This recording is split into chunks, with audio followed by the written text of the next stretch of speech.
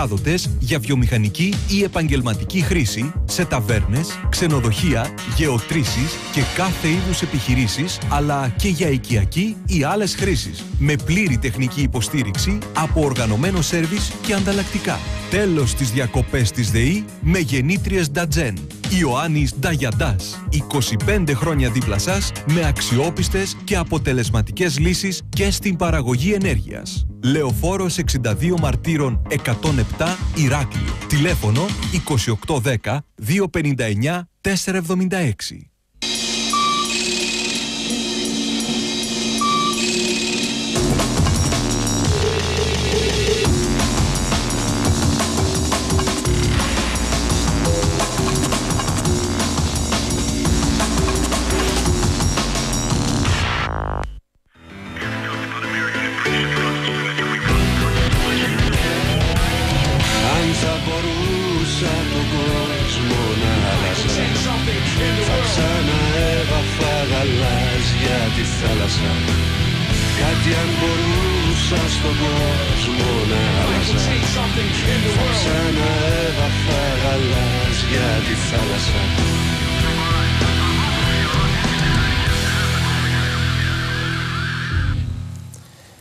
Καλώς ορίσατε και απόψε στην Κιβωτό της Κρήτη TV, τη 15η εκπομπή έρευνας και αποκαλύψεων για όλα όσα θα θέλατε να μάθετε, αλλά δεν σας λένε γιατί δεν σας, δεν σας θέλουν ούτε ενημερωμένους και φυσικά ούτε ελεύθερους.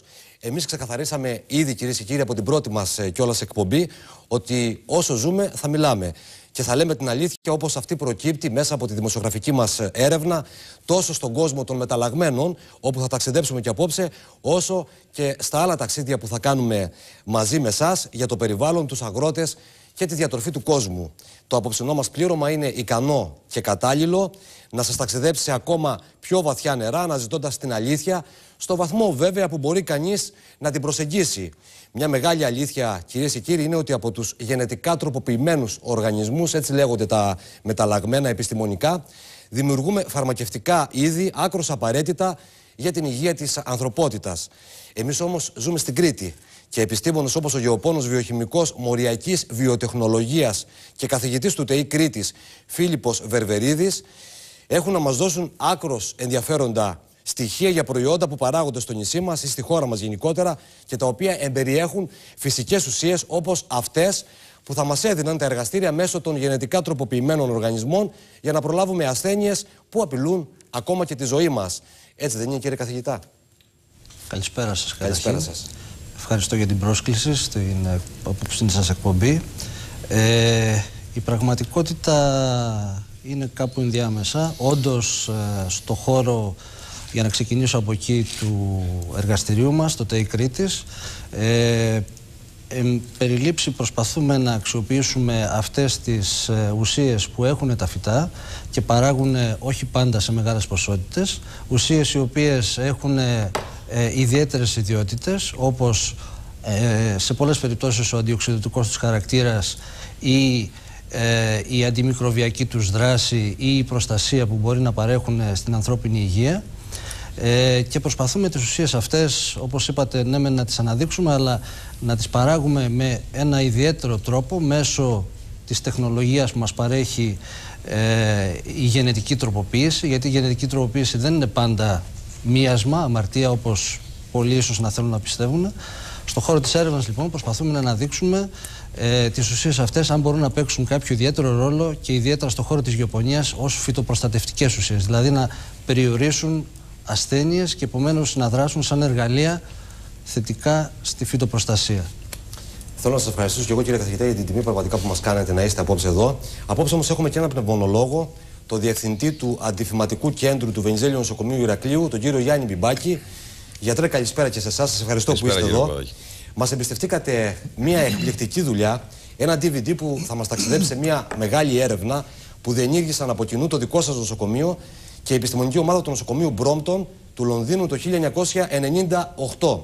Με δύο λόγια, κύριε Μπιμπάκη, οι πλαστικές τροφέ που τρώνε τα παιδιά των κριτικών με το ενδεχόμενο περιεκτικότητας σε μεταλλαγμένες ουσίες να είναι κάτι παραπάνω από ορατό, δημιουργούν σοβαρά φαινόμενα άσθματο, ατοπίας και αλλεργίας, ακόμα και στις ορεινές περιοχές του νησιού μας. Ναι. Ε, επιγραμματικά να πούμε ότι υπήρξαν σε αυτή την έρευνα ε, χρήσιμα συμπεράσματα ε, για την, ε, τον 20ο αιώνα, μιας και σιγά σιγά περνάει ο δυτικός τρόπος ζωής και στο νησί μας, δυστυχώς. Και επιγραμματικά η έρευνα έδωσε διαφορές των αλλεργιών και του άσματος μεταξύ ε, της επαρχίας, στο πούμε έτσι, στα χωριά, στα ορεινά και στα παιδινά και της πόλης του Ηρακλείου σε παιδιά ηλικίας από 7, 8 έως 18 ετών. Πολύ ενδιαφέροντα όλα αυτά, θα τα δούμε συνέχεια της εκπομπής. Εξαιρετική τιμή για μας, κυρίες και κύριοι, αποτελεί απόψε και η παρουσία του αναπληρωτή Προέδρου και καθηγητή του Τμήματος Βιολογίας του Πανεπιστημίου Κρήτης, του κυρίου Νίκου Πανόπουλου. Κύριε Πανόπουλε, καλησπέρα σας. Σας ευχαριστώ που είστε εδώ απόψε κοντά μας. Σε συνέντευξή σας στο πρώτο ταξίδι της Κιβωτού ζητήσατε την επιμέρους εξέταση κάθε μεταλλαγμένου οργανισμού και είπατε όχι στον αφορισμό όλων των μεταλλαγμένων. Όμως, οφείλω να σας πω και το ξέρετε κι εσείς εξάλλου, ότι ο κόσμος επιμένει να λέει όχι στα μεταλλαγμένα, με εξαίρεση αυτά που βρίσκονται μέσα στα εργαστήρια για την παραγωγή άκρος σημαντικών για την ανθρωπότητα φαρμακευτικών ειδών. Θέλω ένα πρώτο σχόλιο από τη μεριά σας πριν προχωρήσουμε στην έρευνα της απόψινή μας εκπομπής.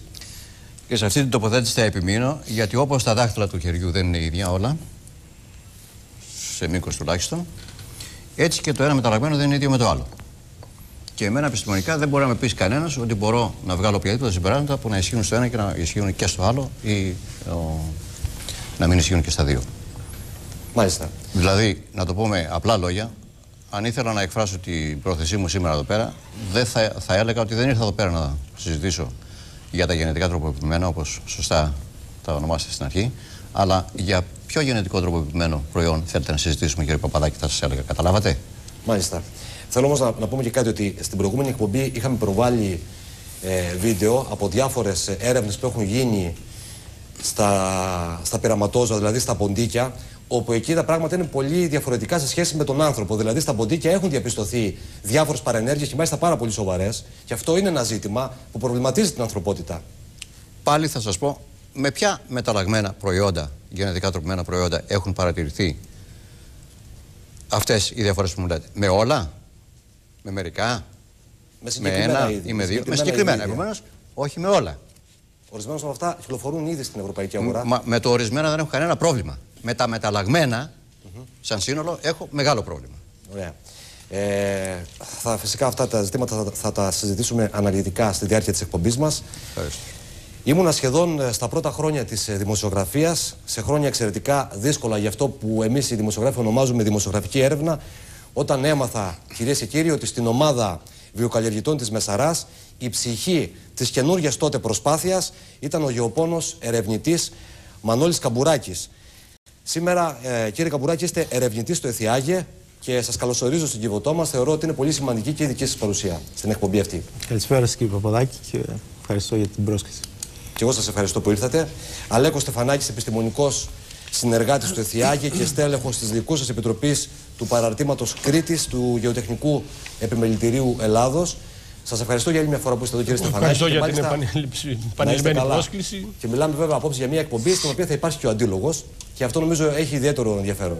Και ο, ο αντίλογος υπήρχε και στην προηγούμενη, απλά ε, σήμερα θα πρέπει, νομίζω ε, ότι έχουμε μια υποχρέωση στο κοινό και στους ακροατές να εμβαθύνουμε Σίγουρα. γιατί η, η, γνώση του καταναλωτή που είναι ο τελικός αποδέκτης όλης αυτής της προσπάθειας είναι το πιο σημαντικό και εμείς έχουμε υποχρέωση να τον ενημερώσουμε. Γιώργος Φραγκούλης, Ηρακλειώτης δικηγόρος, ένας άνθρωπος που θα έλεγα ότι είναι αγωνιστής και στη ζωή και στη δικηγορία και δεν νομίζω ότι χρειάζεται να πω περισσότερα για όσους γνωρίζουν τον άνθρωπο αυτό. Καλησπέρα κύριε Φραγκούλη, σας ευχαριστώ που είστε απόψε, και απόψε εδώ. Ε, ήταν πολύ ενδιαφέροντα τα όσα μας αναφέρατε στην πρώτη εκπομπή και φαντάζομαι ότι και απόψε θα πούμε πολύ σημαντικά πράγματα. Ευχαριστώ για την πρόσκληση. Κυρίες και κύριοι, τα μηνύματα που πήραμε δικαιώνουν το δημοσιογραφικό ταξίδι της Κιβωτού και μας δίνουν δύναμη για ακόμα πιο δύσκολα ταξίδια. Για όλους λοιπόν εσάς που ζητάτε το λόγο μέσα από την εκπομπή μας, για όλους εσάς που θέλετε να ξέρετε τι τρέχει πίσω από την πλάτη σας για όλους εσάς που θέλετε να σπάσετε τα δεσμά σας και να κάνετε ένα νέο ξεκίνημα είναι το πρώτο βίντεο της απόψινής μας εκπομπής. Στην εποχή του βόρβορου και της κλειδαρότρυπας που ζούμε σε όλη την Ελλάδα, όλος ο κριτικός τύπος ηλεκτρονικός και έντυπος κρατάει μια αξιοπρεπή στάση και ασχολείται με τα θέματα τα οποία απασχολούν το λαό και όχι μερικούς δημοσιογράφους οι οποίοι βολεύονται από αυτή την κατάσταση. Απόψε λοιπόν ζητάω τον λόγο Δεν θα αλλάξει και τίποτα Απόδειξε Δεν είναι μόνο αυτό που υπάρχει στην Κρήτη, υπάρχει σε όλη την Ευρώπη, υπάρχει σε όλο τον κόσμο. Ίσως είναι περισσότερο το ποσοστό. Σήμερα στη Σόγια δεν συζητούμε για απόλυτη καθαρότητα. Χαρακτηρίζεται ως μη γενετικά τροποποιημένη όταν έχει ένα ποσοστό μεταλλαγμένος κάτω από το όριο που το ορίζει η νομοθεσία. Δεν μας αφορά. Εγώ θεωρώ ότι αυτός ο ορισμός είναι αστείος, προσβάλλει δηλαδή στο βάθος την ανθρώπινη νοημοσύνη. Ε, δυστυχώς όλοι καθημερινά έχουμε στο τραπέζι μας μεταλλαγμένα προϊόντα.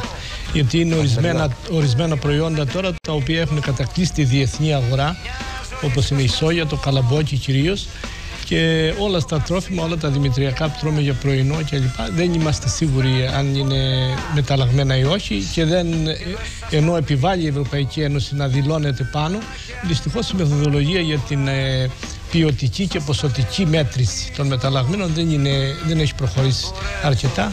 Ο ίδιος αντιπρόεδρος των ΗΠΑ, Αλ κάνει δηλώσεις υπέρ του ζυζανιοκτώνου Ραουντάπ και ο πρόεδρος Κλίντον τηλεφωνεί στο Βρετανό Πρωθυπουργό για να τον πιέσει να αποδεχθεί την παρουσία της Μονσάντο στη Βρετανία. Θέλω να ξέρω τι τρέχει πίσω από τη πλάτη μου Θέλω να ξέρω τι τρέχει πίσω από τη πλάτη μου Από όλα τα ευρωβαρόμετρα των τελευταίων χρόνων προκύπτει ότι η συντριπτική πλειοψηφία των Ευρωπαίων πολιτών δεν θέλει να τρώει μεταλλαγμένα σε αντίθεση με, την, ε, με τους ε, Αμερικάνους π.χ. πολίτες οι οποίοι προφανώς από άγνοια δεν έχουν κάποια ε, σταθερή αρνητική θέση απέναντι στο να, να τρώνε μεταλλαγμένα ή όχι. Να αναλάβουμε και εμείς τις ευθύνες μας απέναντι στις πιέσεις αυτών των μεγάλων αυτοκρατοριών όπως η Μοσάντο, η Αβένσις και πολλές άλλες οι οποίες πιέζουν στο βωμό του κέρδους να εισπράττουν τα χρήματα χωρίς να τους ενδιαφέρει το ποια θα είναι η επόμενη μέρα, το αν θα είναι όπως το βίντεο που είπατε προηγουμένως ότι θα δούμε μετά τις 12 για τις τερατογενέσεις που είχαν αποτέλεσμα οι επεμβάσεις των Αμερικάνων στο Βιετνάμ. Είδαμε ότι μετά τη ε, χλωρίδα η οποία άλλαξε, συγχρόνως άλλαξε και η πανίδα. Εξαφανίστηκαν κάποια ζώα και ήρθαν κάποια άλλα. Αυτό λοιπόν και μόνο πρέπει να μας τρομάζει τη στιγμή που αυτή τη στιγμή γίνεται μια ε, σύμπραξη, μια συνένωση φυτικού με ζωικού, ε, φυτικών με ζωικών μορίων και ε, κάτι το οποίο πραγματικά είναι ε, ανώμαλο για τη φύση, το τι εξελίξεις θα έχουν οι επόμενες γενιές. Ξαναχτίζω την ελπίδα πάλι από την αρχή. Όσα μου τάξαν τα έπνιξε στο πέρασμα η βροχή. Όσα όνειρα είχα κάνει μου τα έκαψει φωτιά. Τη Δευτέρα ξεκινάω απ' την αρχή αλήθεια Το κοινό δεν γνωρίζει ότι ίσως να καταναλώνει ήδη τρόφιμα με γενετικά τροποποιημένα συστατικά ή για παράδειγμα σε κάποιες χώρες, όπως στην Ελλάδα, δεν έχει γίνει ολοκληρωτική ενσωμάτωση των ευρωπαϊκών οδηγιών για τη σήμανση τέτοιων τροφίμων. Από τη μια πλευρά, οι πρακτικές δυσκολίες της εφαρμογής των κανονισμών είναι πολλές. Από την άλλη, χρειάζεται μακροχρόνια έρευνα βάθους 40 ή και περισσότερων ετών για να αποδειχθεί ότι η κατανάλωση αυτών των προϊόντων είναι ασφαλής. Αυτά και άλλα πολλά, με μια διάθεση αντικειμενικότητας καταγράφοντας τις θέσεις των πολυεθνικών και παράλληλα αυτές που αντιτίθενται στη γενετική μηχανική αναφέρει ο Βασίλειος Παπαμίκος, κυρίες και κύριοι, κλινικός διαιτολόγος, ειδικός γραμματέας δημοσίων σχέσεων και τύπου του Πανελλήνιου Συλλόγου Διαιτολόγων Διατροφολόγων. Το άρθρο αυτό δημοσιεύτηκε στο ιατρικό περιοδικό Medlock και μας το έστειλε για τις ανάγκες του ρεπορτάζ και της έρευνάς μας η Ηρακλειώτησα παιδίατρο Ειρήνη Βασιλάκη, την οποία και ευχαριστούμε. Παρακολουθήστε το απόσπασμα που επιλέξαμε από τη δουλειά του κυρίου Παπαμίκου. Τα γενετικά τροποποιημένα τρόφιμα χαρακτηρίζονται από το γεγονός ότι προέρχονται από ή περιέχουν κάποιο συστατικό το οποίο προέρχεται από γενετικά τροποποιημένο φυτικό ή ζωικό οργανισμό.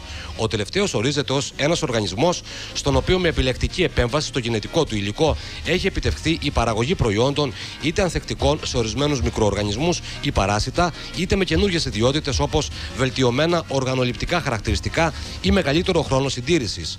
Μέχρι τώρα τα περισσότερα γενετικά τροποποιημένα τρόφιμα φυτικής προέλευσης είναι ανθεκτικά σε έντομα και σε ζυζανιοκτώνα, αφού μέσω της γενετικής μηχανικής μεταφέρονται σε αυτά γονίδια αντίστασης στα παρασιτοκτώνα και στα έντομα. Μερικά χαρακτηριστικά παραδείγματα τέτοιων προϊόντων είναι η σόγια, το σιτάρι, το καλαμπόκι, η κόκκινη πιπεριά, η πατάτα με λιγότερο άμυλο, η ελαιοκράμβη, η ντομάτα που δεν οριμάζει, οι φράουλες, τα αγκούρια, τα ζαχαρότευτλα, τα καρότα, τα μήλα, τα καρύδια, τα σταφύλια, ο καφές με μικρότερη περιεκτικότητα σε καφεΐνη, το πεπόνι που δεν οριμάζει, το πιπέρι, φρούτα πιο γλυκά και το ρύζι. Αναλυτικότερα, οι μεταφορές γονιδίων μπορούν να χρησιμοποιηθούν για να κάνουν τις οδιές ανθεκτικές σε ζυζάνια και άτρωτες σε ζυζανιοκτώνα, να ενισχύσουν τη θρεπτική ποιότητα των καρπών ή ακόμα και να δημιουργήσουν τρόφιμα με ιατρικές ιδιότητες όπως οι πατάτες που δρούν προληπτικά ενάντια στην υπατήτητα, οι μπανάνες που εμβολιάζουν αυτούς που τις τρώνε ενάντια στη χολέρα και το κολοκύθι που προλαμβάνει την τεριδόνα των δοντιών. Έτσι δημιουργήθηκαν καλαμπόκια μεγαλύτερου μήκους και ανθεκτικά σε συγκεκριμένα παράσιτα, σόγια ανθεκτική σε συγκεκριμένο ζυζανιοκτόνο, στο Roundup, πάντα με την προσδοκία χρησιμοποίησης λιγότερων ζυζανιοκτώνων, λιγότερης ρήπανσης του υπεδάφους και των υπόγειων υδάτων και φυσικά λιγότερων χημικών υπολοιμάτων στα τρόφιμα. Εφαρμογές όμως της γενετικής τροποποίησης βρίσκουμε και στα βρόσιμα ζώα, με αποτέλεσμα να έχουμε παραγωγή πουλερικών που παρουσιάζουν ανοσία σε θανατηφόρους ιούς, αυξημένη παραγωγή γάλακτος μέσω της χρήσης βοήθεια ανασυνδυασμένης αυξητικής ορμόνης, καθώς και διαγωνιδιακούς ολομού που αποκτούν το επιθυμητό μέγεθος σε ένα χρόνο, τη στιγμή που οι καλλιεργούμενοι χρειάζονται τρία χρόνια. Τα ερωτήματα που τίθενται είναι κατά πόσο χρειαζόμαστε τα γενετικά τροποποιημένα τρόφιμα και αν από την κατανάλωσή τους υπάρχουν πιθανοί κίνδυνοι για την υγεία του ανθρώπου. Οι υποστηριχτές της χρήσης των γενετικά τροποποιημένων οργανισμών θεωρούν την όλη διαδικασία επέμβασης ως ένα φυσικό επακόλουθο της παραδοσιακής γενετικής για την παραγωγή νέων ποικιλιών. Η απότερη στόχη είναι η παραγωγή πιο υγιεινών τροφίμων και η προστασία του περιβάλλοντος, η αύξηση του όγκου παραγωγής και η βελτίωση των οργανοληπτικών χαρακτηριστικών των τροφίμων και η αύξηση του οικονομικού κέρδους. Έτσι, με τη χρήση γενετικά τροποποιημένων φυτών και ζώων, περιορίζεται η χρήση φυτοφαρμάκων, ζυζανιοκτώνων και εντομοκτώνων. Επιπρόσθετα, τα γενετικά τροποποιημένα τρόφιμα μπορούν να επλωτιστούν με αντιοξυδοτικές ουσίες, βιταμίνες ή ακόμη και να προστατεύσουν τους καταναλωτές από διάφορες λοιμώξεις. Τα φρούτα, οι καρποί και τα λαχανικά συντηρούνται καλύτερα ή αντέχουν περισσότερο στο ψύχος και έχουν βελτιωμένα οργανοληπτικά χαρακτηριστικά. Τέλος, οι πρωτενε των μεταλλαγμένων τροφίμων παράγονται κατά φυσικό τρόπο και μέχρι σήμερα τουλάχιστον δεν υπάρχουν στοιχεία πως η κατανάλωσή τους μπορεί να έχει επιπτώσεις στα γονίδια του ανθρώπου. Εκτός όμως από όλα τα θετικά στοιχεία, δεν λείπουν και οι ποικίλοι προβληματισμοί για τη χρήση τους. Οι πολέμοι της γενετικής μηχανικής φοβούνται πως οι τεχνικές αυτές θα έχουν μόνο βραχυπρόθεσμες ωφέλειες και ότι με την πάροδο του χρόνου και την αλληλεπίδραση φυτών και ζυζανίων ή εντόμων θα δημιουργηθούν ανθεκτικότερα στελέχη τα οποία θα απαιτούν τοξικότερες και μεγαλύτερες ποσότητες ζυζανιοκτώνων.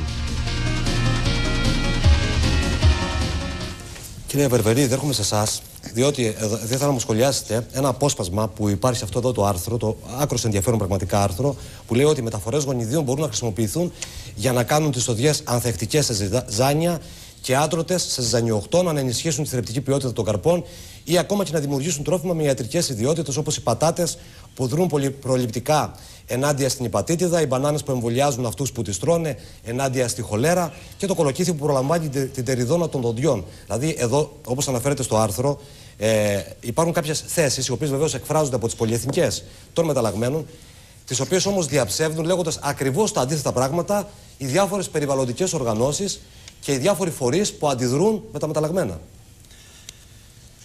Ε, πολύ εύστοχη η ερώτησή σας. Ε, ε, να ξεκινήσω πρώτα λέγοντας ότι δεν θα ήθελα με τη θέση που θα πάρω να πείσω κάποιον να, να καταναλώσει ή να μην καταναλώσει οποιοδήποτε γενετικό τροποποιημένο προϊόν. Ε, θα ήθελα πρώτα να αναφερθώ στο γεγονός ότι η γενετική τροποποίηση ή αν θέλετε στο χώρο της επιστήμης καταρχήν ε, κάποια στιγμή φτάνουμε σε ορισμένα επιστημονικά διέξοδα. Διέξοδα τα οποία δεν μπορούν να λυθούν με τις συμβατικές τεχνολογίες οι οποίες είναι διαθέσιμες. Ε, έρχεται λοιπόν ένα βήμα μπροστά κάνοντας η επιστήμη και προτείνει τρόπους με τους οποίους μπορεί να ξεπεράσουμε κάποια πράγματα. Η γενετική τροποποίηση λοιπόν αν θέλετε ως ένα σημείο ήρθε για να καλύψει αυτό το κενό το οποίο είχε δημιουργηθεί ή αν θέλετε υπήρχε ε, σε επιστημονικά διέξοδο όσον αφορά διάφορους τομείς. Μεταξύ αυτών και όλα αυτά τα οποία αναφέρετε, δηλαδή ε, ασθένειες οι οποίες δεν μπορούσαν εύκολα να καταπολεμηθούν, ε, τρόφιμα που λόγω του κακού αν θέλετε σε εισαγωγικά ή του όποιου τρόπου ζωής ε, δεν μας ανάγκαζαν να μην τρεφόμαστε σωστά και ούτω καθεξής. Ε, επομένως η τεχνολογία αυτή πράγματι ήταν μια επανάσταση όπως προφανώς γνωρίζουν όλοι οι, όσοι μας παρακολουθούν και ε, αυτό σημαίνει ότι ε, στην επανάσταση αυτή μπορούσε να κάνει διάφορα πράγματα τα οποία για ένα μέσο ανθρώπινο εγκέφαλο δεν ήταν εύκολο να γίνουν κατανοητά. Πράγματι, ναι, μπορεί να δημιουργήσει ε, φυτά ανθεκτικά σε ζυζανιοκτώνα, ε, φυτά ε, τα οποία να αντέχουν σε προσβολές από, από έντομα, ε, μπορεί επίσης ε, να δημιουργήσει τρόφιμα τα οποία να είναι εμπλουτισμένα με ουσίες οι οποίες είναι ωφέλιμες για την ανθρώπινη υγεία και ούτω καθεξής. Αυτό δηλαδή είναι ένα γεγονός πλέον σήμερα. Οπωσδήποτε στο περιθώριο αυτής της, το αυτών των ανακοινώσεων ορισμένοι έρχονται και προβάλλουν θετικά ή αρνητικά ε, αυτού του είδους τα προϊόντα με, με, μια, με ένα πομπόδι τρόπο. Ε, και πολλά από αυτά τα οποία ακούγονται ε, έχω την αίσθηση ότι δεν είναι αληθινά. Δηλαδή ε, ή τουλάχιστον δεν έχουν ε, διαδοθεί με τον τρόπο που ανακοινώθηκε στο, στο ρεπορτάζ που μας δείξατε. Ε, τι άλλο να πω ότι... Είχατε πρόσφατα όμως μια, ένα πανευρωπαϊκό συνέδριο στο ΤΕΙ Κρήτης στο οποίο συμμετείχαν και επιστήμονες από τις ΗΠΑ της Αμερικής οι οποίοι προφανώς ήταν υπέρ των μεταλλαγμένων, των γενετικά τροποποιημένων οργανισμών. Προφανώς, έτσι. Ε, αυτά τα αποτελέσματα θέλω να μας πείτε σήμερα επιγραμματικά πού οδηγούν την ε, επιστημονική έρευνα τη δική σας. Ναι. Σα, ε, ως, ως, ως ερευνητές εννοώ του ΤΕΙ Κρήτης. Ναι.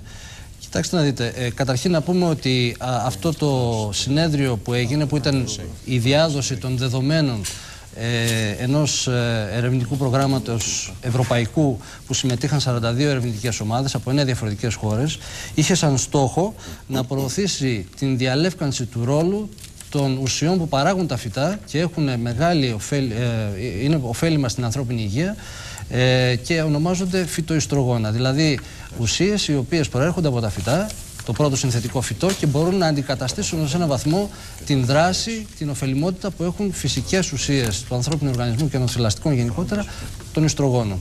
Έτσι λοιπόν στα πλαίσια αυτού του συνεδρίου ε, συμμετείχαν άνθρωποι όπως είπατε και από το εξωτερικό, εκτός Ευρώπης δηλαδή, αλλά δεν θεωρώ δεδομένο ότι ε, ήταν ε, ο στόχος να διαδοθούν τα γενετικά τροποποιημένα προϊόντα μέσα από μια τέτοια δουλειά. Ε, ήταν περισσότερο να αναδειχθεί ο ρόλος των ουσιών αυτών ε, και πόσο πραγματικά μπορούν από τις διαδόσεις που υπάρχουν ε, οι ουσίες αυτές πράγματι μέσω της διατροφής να καλύψουν, να περιορίσουν αν θέλετε παθήσεις του το ανθρωπίνου οργανισμού που αφορούν ε, καρδιακιακά νοσήματα, ε, ε, ενάντια σε ορισμένους τύπους καρκίνων. Ε, Είχαμε και κάποια συμπεράσματα σε σχέση με τα προϊόντα τα οποία παράγονται στην Κρήτη και τα συμπεράσματα αυτά δείχνουν ότι κάποια προϊόντα εμπεριέχουν όντως ε, αυτές τις ουσίες. Επομένως, η ανάγκη για γενετικά τροποποιημένους οργανισμούς στην Κρήτη σε ό,τι αφορά τουλάχιστον ε, την παραγωγή φαρμακευτικών ουσιών σίγουρα μειώνεται ε, δραστικά σε σχέση με, με άλλες χώρες γενικότερα. Γιατί και στην Ελλάδα γενικότερα παράγουμε ομοειδή προϊόντα. Προφανώς. Ποια είναι αυτά τα προϊόντα τα οποία προστατεύουν ε, από σοβαρές παθήσεις στον άνθρωπο; Ε, κοιτάξτε, ε, καταρχήν ε, είναι σωστό αυτό που λέτε, αλλά δεν σημαίνει ότι μια τέτοιου είδους προσπάθεια μέσω της έρευνας έχει σαν στόχο να προωθήσει οποιοδήποτε γενετικά τροποποιημένο προϊόν ή ε, αν θέλετε ακόμα περισσότερο να αναδείξει οτιδήποτε είναι κακό ή καλό όταν δεν χρειάζεται να αναδειχθεί. Ε, όπου υπάρχει ανάγκη. Να να δούμε αν, είναι, ναι. αν χρειάζεται. Ακριβώς. Έτσι, αν είναι καλό, μάλλον. Έτσι, γιατί αυτή, αυτή είναι η βάση ε, των δεδομένων πάνω στην οποία δουλεύουν οι επιστήμονες. Ακριβώς. Και δεν μιλάω βέβαια για τους επιστήμονες που έχουν ε, καλοπληρωθεί από τις πολυεθνικές για να δείξουν ακριβώς το αντίθετο ε, Καμία από σχέση. αυτό που ενδεχομένως προκύπτει από τη δική σας την έρευνα. Ναι. Ε, προφανώς ε, ε, υπάρχουν πάρα πολλές ουσίες, ε, πα- συγγνώμη, πάρα πολλά ε, φυτικά Προϊόντα. προϊόντα τα οποία περιέχουν ε, πολύ σημαντικά συστατικά ε, και σιγά σιγά αυτά φαίνεται ότι ε, όχι ακριβώς εκλείπουν από το διατροφικό μας μενού αλλά αν θέλετε προτιμούμε πιο δυτικού τύπου ε, ε, ε, τρόφιμα ας το πούμε, τα, ε, ε, τα fast food και ε, τα οποία προφανώς δεν οδηγούν σε καλυτέρευση της υγείας, αντίθετα μάλιστα. Να πούμε Ε, ενδεικτικά ποια προϊόντα είναι αυτά. έτσι για την λοιπόν, Κρήτη. ε, έτσι λοιπόν προϊόντα όπως ε, υπήρχαν ανέκαθεν στην κριτική διατροφή ιδιαίτερα, όπως ε, φασόλια, ρεβιθιά, όλα τα όσπρια γενικά. Τα όσπρια. Ε, φυσικά σίκαλοι, σταφύλοι, σταφίδες, ε, φουντούκια, ε, ξέρετε, δαμάσκηνα, χουρμάδες που τείνουμε να τα ξεχάσουμε ότι υπάρχουν ε, στην περιοχή.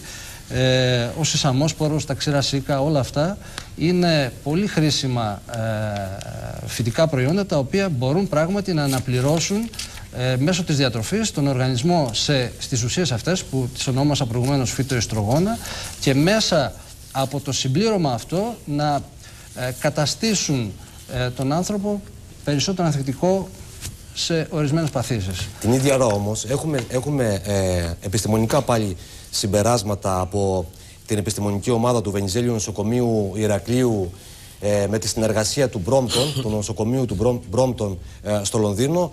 Ε, αυτές οι δύο ομάδες συνεργάστηκαν το 1998 και αυτό που το οποίο διαπίστωσαν είναι ότι ναι μεν οι αλλεργίες, το άσθμα, οι ατοπίες στην Κρήτη είναι σε πολύ μικρότερο ποσοστό σε σχέση με την υπόλοιπη Ελλάδα, όμως και εδώ από τότε μάλιστα η δυτικού, τρι- ε, η δυτικού τύπου διατροφή έχει εισβάλει σε τέτοιο βαθμό στις ε, κοινωνίες μας, στην, ε, στον παιδικό πληθυσμό που έχει δημιουργήσει τέτοια προβλήματα.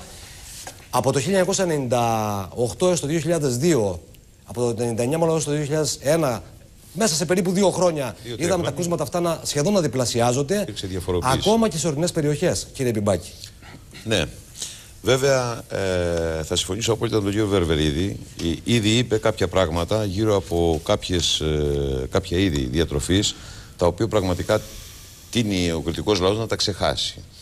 Η έρευνα που- στην οποία αναφερθήκατε δεν έκανε τίποτα άλλο παρά διαπίστωση ακριβώς ότι ε, οι ομάδες πληθυσμών που κατανάλωναν τέτοιου είδους προϊόντα μεταξύ των οποίων φρούτα, λαχανικά, ε, συμπεριέλαβε και τα καρύδια. Έτσι, και μάλιστα δύο φορές περίπου την εβδομάδα.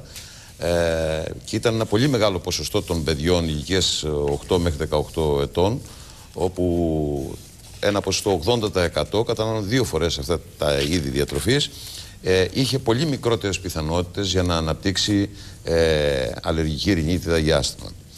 Επομένως, το ερώτημά μας είναι ε, εάν χρειάζονται ε, κάποια τρόφιμα να τροποποιηθούν γενετικά ή θα πρέπει να σταθούμε ως προς το θέμα της υγείας δηλαδή του ανθρώπινου οργανισμού να σταθούμε στον παραδοσιακό τρόπο στη μεσογειακή μας διατροφή έτσι, και το διαφοροποιώ τελείως από την ανάγκη ποσοτήτων πλέον σε σχέση με την αύξηση του πληθυσμού ή σε διάφορες χώρες όπου υποφέρουν από διατροφή κλπ. Όσον αφορά το ιατρικό κομμάτι όμως, ε, ε, ίσως θα πρέπει να μας προβληματίσει εάν θα πρέπει να γυρίσουμε πίσω και να δούμε ε, την διατροφή των ο, γονιών μας, τη διατροφή των παππούδων μας η οποία σίγουρα ε, οι μελέτες και διασταυρούμενες μελέτες, ε, πολυκεντρικές στην Ευρώπη πλέον, η δική μας έρευνα διασταυρώθηκε και με την Αγγλία αλλά και με την Ισπανία Νομίζω το 98 και τη Γερμανία. ξεκίνησε και ολοκληρώθηκε το 99 η πρώτη φάση. Ναι, και συνέχισε στη συνέχεια, αλλά ε, ερευνώντας τους ίδιους, τις ίδιες παραμέτρους, απλώς ε, επεξέτεινε την, ε, ε, την έρευνα. Η έρευνα ε, επεκτάθηκε σε ουσίες, ε, τις αντοξιδοτικές που ανέφερε ο κ. Βερβερίδης ε, και ποια ήταν η σημασία τους στην ε, εκδήλωση των αλλεργιών και του άσπατος. Μάλιστα. Ε, κύριε Πανόπουλε, εσείς ε, στο Πανεπιστήμιο Κρήτης ε, έχετε μεταλλαγμένες, ε, μεταλλαγμένα φυτά, δηλαδή ε, καλλιεργείτε για πειραματικούς σκοπούς γενετικά τροποποιημένους ε, οργανισμούς. Κυρίως στο, στα- στα- στον καπνό, έτσι δεν είναι; Θέλω να μας μιλήσετε λίγο για τα πειράματα τα οποία κάνετε στο Πανεπιστήμιο Κρήτης και θέλω να μας πείτε την προσωπική σας την άποψη σε ό,τι αφορά όλα αυτά τα οποία λέγονται ε, για τους γενετικά τροποποιημένους οργανισμούς, τι ανησυχίε που εκφράζονται. Θα μας ενδιέφερε το δικό σας το σχόλιο γύρω από αυτή την ιστορία. Ε, επιτρέψτε μου να αναφερθώ σε ένα μέρος του ε, ντοκιμαντέρ που δείξατε ε, που δείξατε τόσο πολλά φρούτα εκεί πέρα αφήνοντας να εννοηθεί ότι ορισμένα ή πολλά ή όλα από αυτά είναι γενετικά τροποποιημένα. Ε, αυτό δεν ισχύει. Σίγουρα τα, τα πλάνα αυτά Εντάξει. είναι, τα, ίσα ίσα μάλιστα. Τα πλάνα αυτά είναι από την αγορά του Ηρακλείου, Ναι. όπου κάθε άλλο παρά, τρο- παρά μεταλλαγμένα ούτε, προϊόντα. ούτε παγκοσμίως διακινούνται. δεν είναι. Όλα αυτά τα είδη μεταλλαγμένα. Εντάξει. Ακούσατε όμως πόσα α, προϊόντα μπορεί να είναι μεταλλαγμένα. Αυτό, Πόσα προϊόντα; αυτό το οποίο προέκυψε μέσα από, το, ρεπ- μέσα από το ρεπορτάζ, μέσα από το άρθρο του κυρίου Παπαμίκου, είναι μία λίστα από προϊόντα. Μίλησε για καφέ, μίλησε για κάποια γλυκά τα οποία ε, έχουν μεγαλύτερη περιεκτικότητα σε ζάχαρη, είναι πιο γλυκά. Ναι, ναι, αλλά για εγώ- φρούτα τα εγώ- οποία δεν οριμάζουν. Αυτά φυσικά δεν έχουν σχέση με την Κρήτη και πρέπει να το διευκρινίσουμε αυτό Λοιπόν, για να μην υπάρχουν. ε, Ούτε με παρεξηγήσεις. την Κρήτη έχουν σχέση, γιατί πρώτα απ' όλα τα απαγορεύονται ε, από την νομοθεσία, την ευρωπαϊκή και δεν έχουν πάρει κανένα έγκριση για καλλιέργεια. Το μόνο, Για καλλιέργεια όχι. Για- για το μόνο διακίνηση γενετικά όμως- τροποποιημένο φυτό που έχει πάρει έγκριση στην Ευρωπαϊκή Ένωση για καλλιέργεια είναι ένα καλαμπόκι ανθεκτικό σε έντομα. Δεν υπάρχει άλλο. Τα ξέρω από πρώτο χέρι γιατί είμαι σε μια Είναι δύο συμβουλευτική υβρίδια τα οποία καλλιεργούνται στην Ευρωπαϊκή Ένωση, έτσι δεν είναι; Καλαμπόκι. BT ε, ανθεκτικά σε έντομα και τα δύο. Εντάξει. Λοιπόν, ε, η, η αναφορά σας σε ε, φρούτα ή διάφορα από τα, αυτά που δείξατε ότι οριμάζουν αργά, αφορά μόνο τις ντομάτες. Τέτοια γενική τροποποίηση δεν γίνεται σε κανένα από τα άλλα πράγματα που δείξατε. Τι, γιατί τα λέω αυτά τα πράγματα, όχι για να σας κατηγορήσω. Όλοι έχουμε τις ε, ε, δυσκολίες Ξέρω και τις αυτά τα λέει ο ατέλειες, κύριος- εντάξει. ο- ο Το κύριος λέω Παπαμίκος για τα να, λέει αυτά, για, να έτσι, μην στο μείνει, άρθρο του. για να μην μείνει στον κόσμο η εντύπωση ότι Δεν ό,τι είναι δεν δικά βλέπεις μας στην αυτά τα αγορά στοιχεία, έτσι. Προέρχονται από είναι, άρθρο. είναι καλλιεργούμενο στην Κρήτη ή εισαγόμενο. Σίγουρα. Και πολύ καλά κάνει και το λέτε, Γενικά έτσι. τροποποιημένο. Δεν, Πολύ δεν καλά κάνει ισχύει και το αυτό. λέτε. Για να πάρω το, το φόβο λίγο από το ακροατήριο. Προφανώς διαφορετικό το εργαστηριακό επίπεδο. Ναι, και... για να έρθω τώρα στο ερώτημά σας, βεβαίως, στα εργαστήρια. Θέλετε να σας πω αυτά τα οποία αναφέρει μέσα ο κ. Παπαμίκο, τα, τα προϊόντα δηλαδή είναι. Είναι η σόγια, το σιτάρι, το καλαμπόκι, η κόκκινη πιπεριά, η πατάτα με λιγότερο άμυλο, η λεοκράμβη, η ντομάτα που δεν οριμάζει, οι φράουλες, τα αγκούρια, τα ζαχαρότευτλα, τα καρότα, τα μύρα, τα καρύδια, τα σταφύλια, ο καφές με μικρότερη περιεκτικότητα σε καφεΐνη όπως αναφέρει εδώ, το πεπόνι που δεν οριμάζει, το πιπέρι, φρούτα, πιο γλυκά και το ρύζι. Ορισμένα από αυτά δεν έχουν αδειοδοτηθεί για να καλλιεργηθούν πουθενά. Παράδειγμα, ο καφές. Άμα θέλετε να εξειδικεύσουμε τα πράγματα. Βεβαίως. Εντάξει. Γι' αυτό το λόγο σας καλέσαμε εξάλλου. Ε, ναι, αλλά δεν έχουμε όλα τα στοιχεία εδώ πέρα. Εγώ μπορώ να σας δείξω μια λίστα των αιτήσεων που εκκρεμούν για αδειοδότηση στην Ευρώπη. Είναι γύρω στα 30. Κανένα από αυτά δεν έχει πάρει έγκριση, όχι για καλλιέργεια, ούτε για εισαγωγή ακόμα. Και πόσα φυτικά είδη Εσείς είναι λέτε ότι σε δεν θα αυτή τη πάρει λίστα; τελικά έγκριση, αφού βλέπουμε ποια διαδικασία ακολουθεί η Ευρωπαϊκή Ένωση. Ναι. Η Κομισιόν προτείνει θετικά. Το Συμβούλιο των Υπουργών Γεωργίας συνεδριάζει, δεν τα βρίσκει, δηλαδή δεν, δεν ε, συμπληρώνει την απαιτούμενη πλειοψηφία για να πάρει απόφαση. Ναι. Το θέμα παγώνει, αλλά βάσει της ε, νομοθεσίας της Ευρωπαϊκής Ένωσης μετά από τρεις μήνες το θέμα επιστρέφει στην Κομισιόν και απλά η Κομισιόν δίνει την τελική έγκριση για τη διακίνηση αυτών των προϊόντων. Αφού- Αυτό έχει γίνει και με τα δύο μεταλλαγμένα που καλλιεργούνται στην Ευρωπαϊκή Ένωση. Ωραία. Αλλά δεν είναι 22 τα μεταλλαγμένα που καλλιεργούνται στην Ευρωπαϊκή Ένωση. Αυτό Όχι. θέλω να πω. Ασφαλώς. Μόνο δύο είναι. Για τον κόσμο το λέω με αυτό. Αυτά τα οποία Είναι καλλιεργούνται. σημαντικό σαν πληροφορία. είναι. Αυτά που καλλιεργούνται είναι δύο προς το παρόν. Και ναι. ο, το σύστημα λήψης αποφάσεων είναι ακριβώς όπως το είπατε.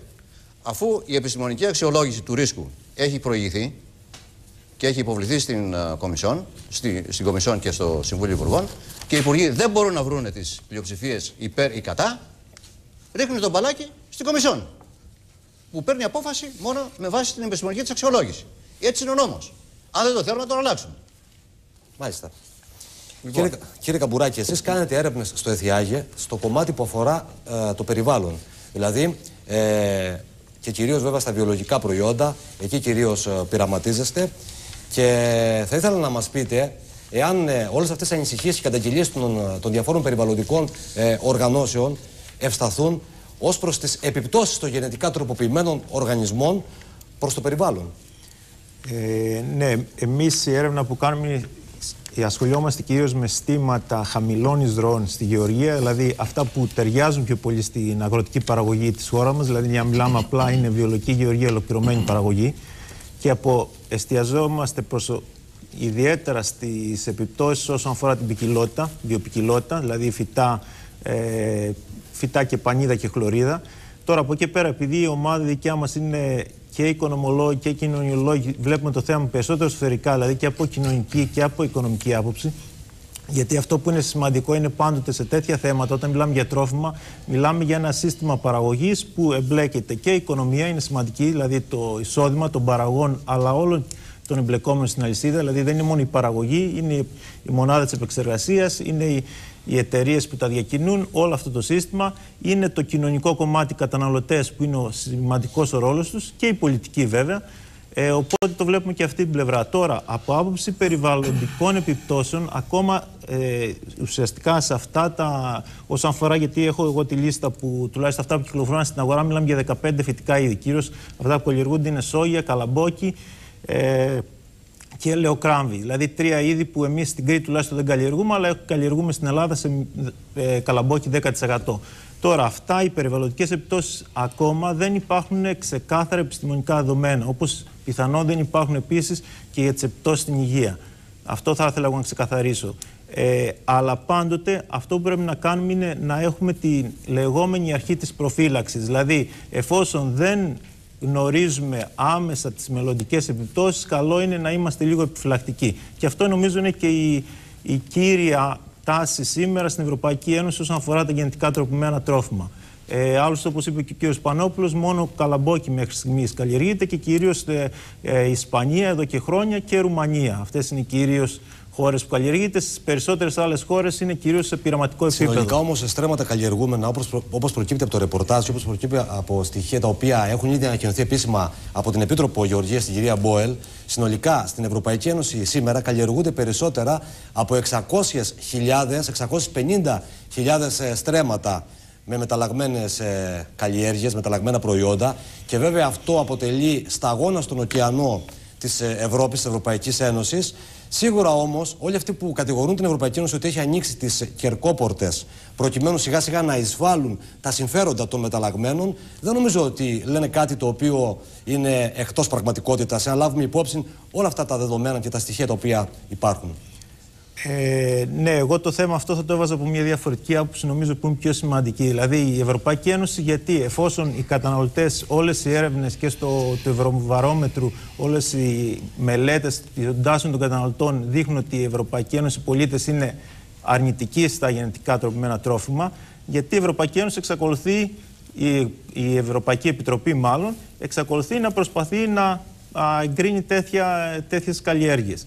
Ε, το θέμα είναι ότι εμείς, σαν ε, η Ευρωπαϊκή Ένωση, συμμετέχει στον Παγκόσμιο Οργανισμό Εμπορίου, άρα έχει υποχρεώσεις προς τους εταίρους της διεθνώς. Όπως γνωρίζουμε, οι μεγαλύτερες εταιρείες που, που προωθούν και διακινούν αυτή τη στιγμή τα γενετικά τροπημένα ε, τρόφιμα, τις ποικιλίες αυτές, είτε καλαμπόκι, ποικιλίες καλαμποκιού, είτε ε, λεοκράμβης, είτε. Είναι, είναι, είναι στη Βόρεια Αμερική. Ή, μιλάμε για τη Μοσάντο, μιλάμε για συγκεκριμένες εταιρείες.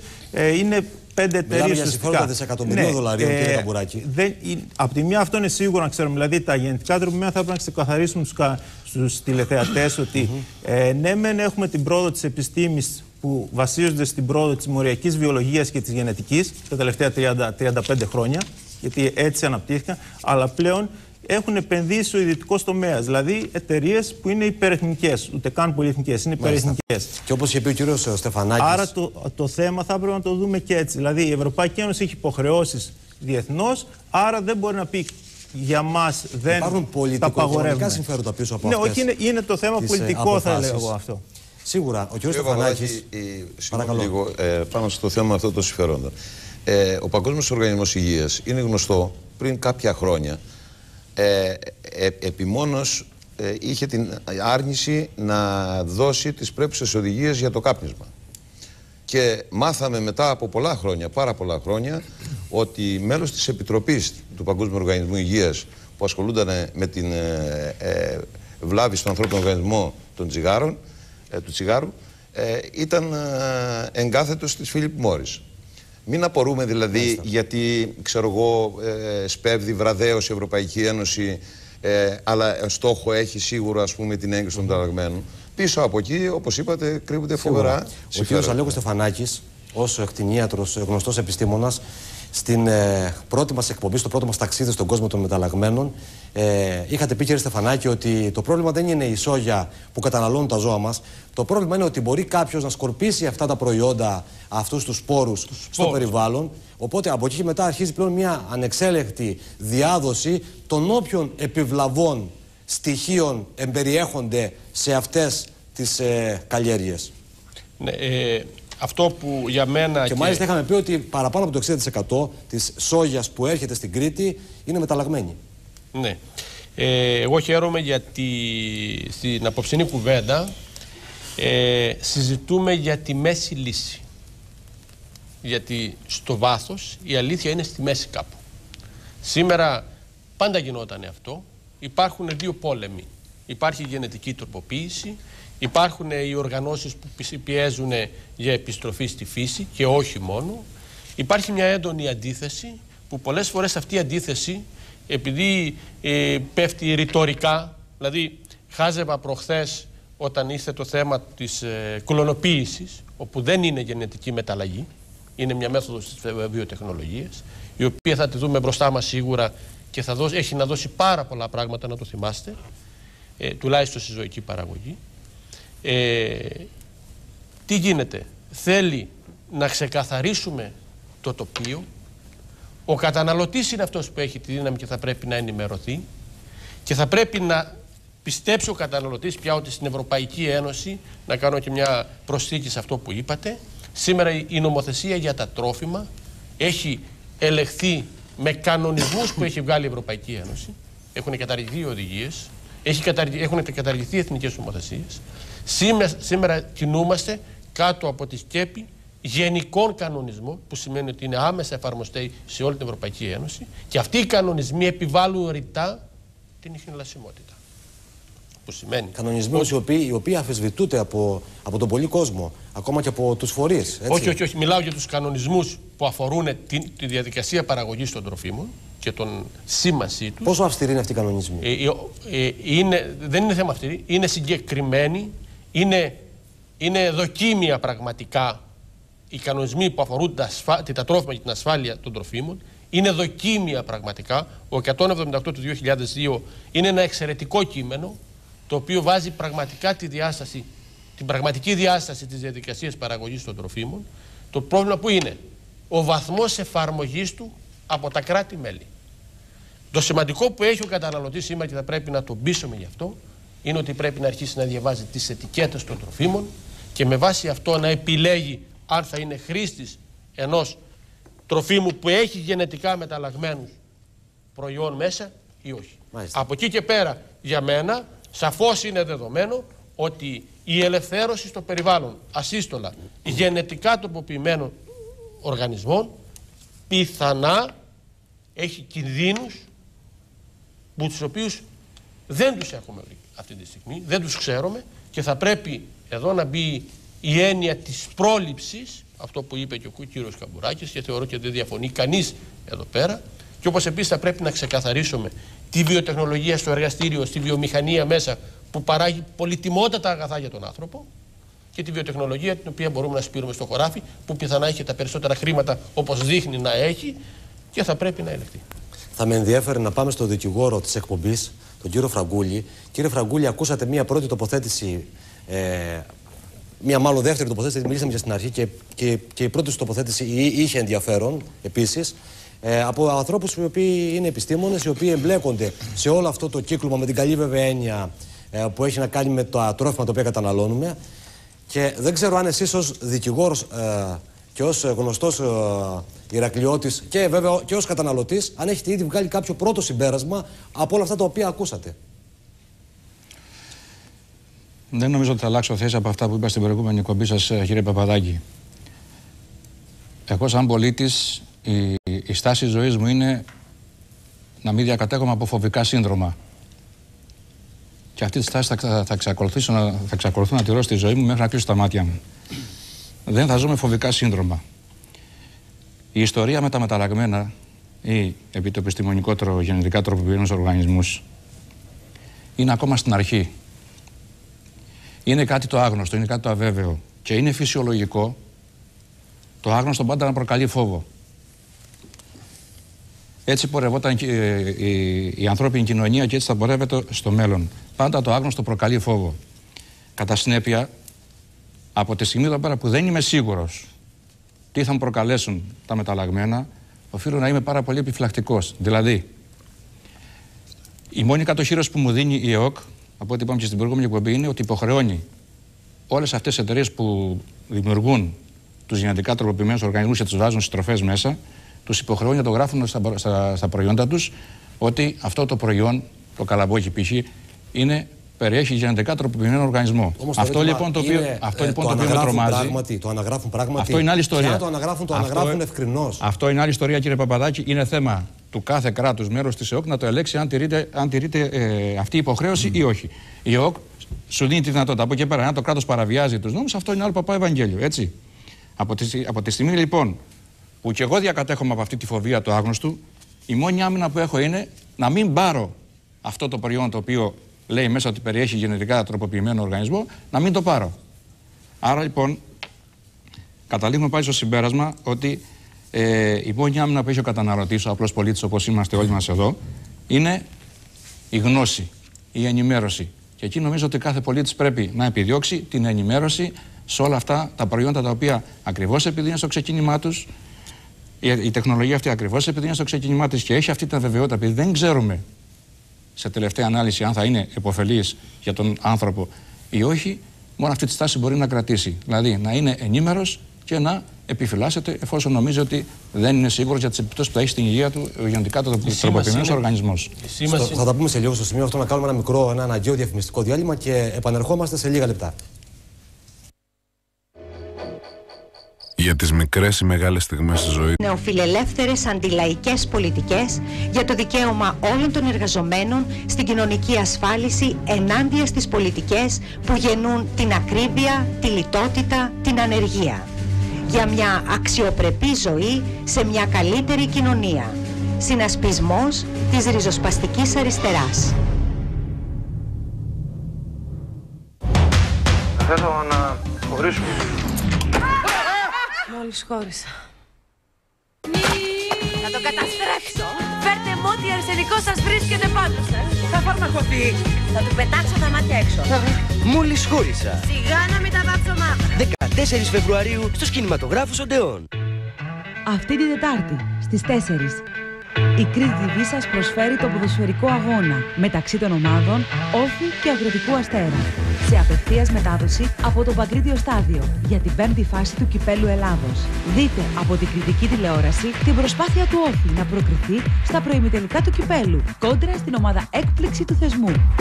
Όφη Αγροτικός Αστέρας αυτή την Τετάρτη στις 4 ζωντανά από την Κρήτη TV.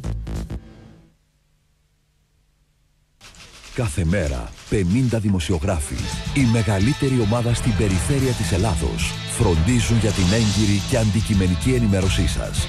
45 εξειδικευμένοι άνθρωποι φροντίζουν για την έκδοσή της. Κάθε μέρα, ο πιο σύγχρονος τεχνολογικά εξοπλισμός φροντίζει για το ιδανικό αποτέλεσμα. Κάθε μέρα σε όλη την Κρήτη. Νέα Κρήτη, η πιο δυνατή ομάδα.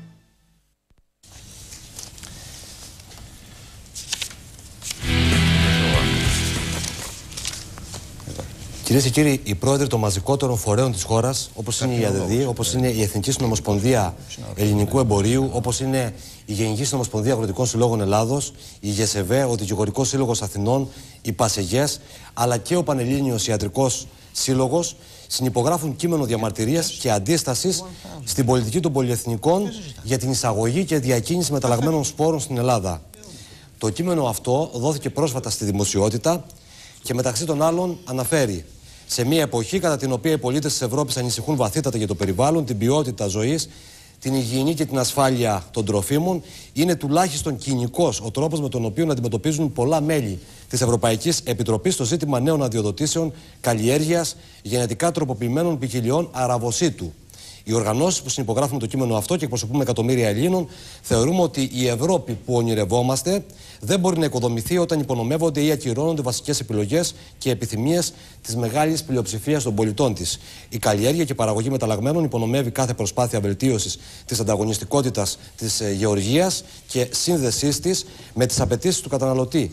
Δυσφημίζει την παραγωγή προϊόντων ποιότητας.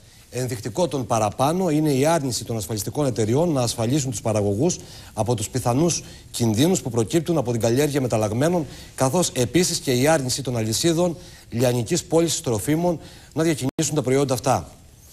Κυρίες και κύριοι, ο πρόεδρος της Γενικής Ομοσπονδίας Αγροτικών Συλλόγων Ελλάδος, ο κύριος Γιώργος Γονιωτάκης, χανιώτης συνδικαλιστής, βρίσκεται στην τηλεφωνική μας γραμμή. Κύριε Γονιωτάκη, καλησπέρα σας. Σας καλωσορίζουμε στην κυβωτό μας. Καλησπέρα και από μένα σε όλους εσάς στο πάνελ και στους τηλεθεατές σας. Να είστε καλά.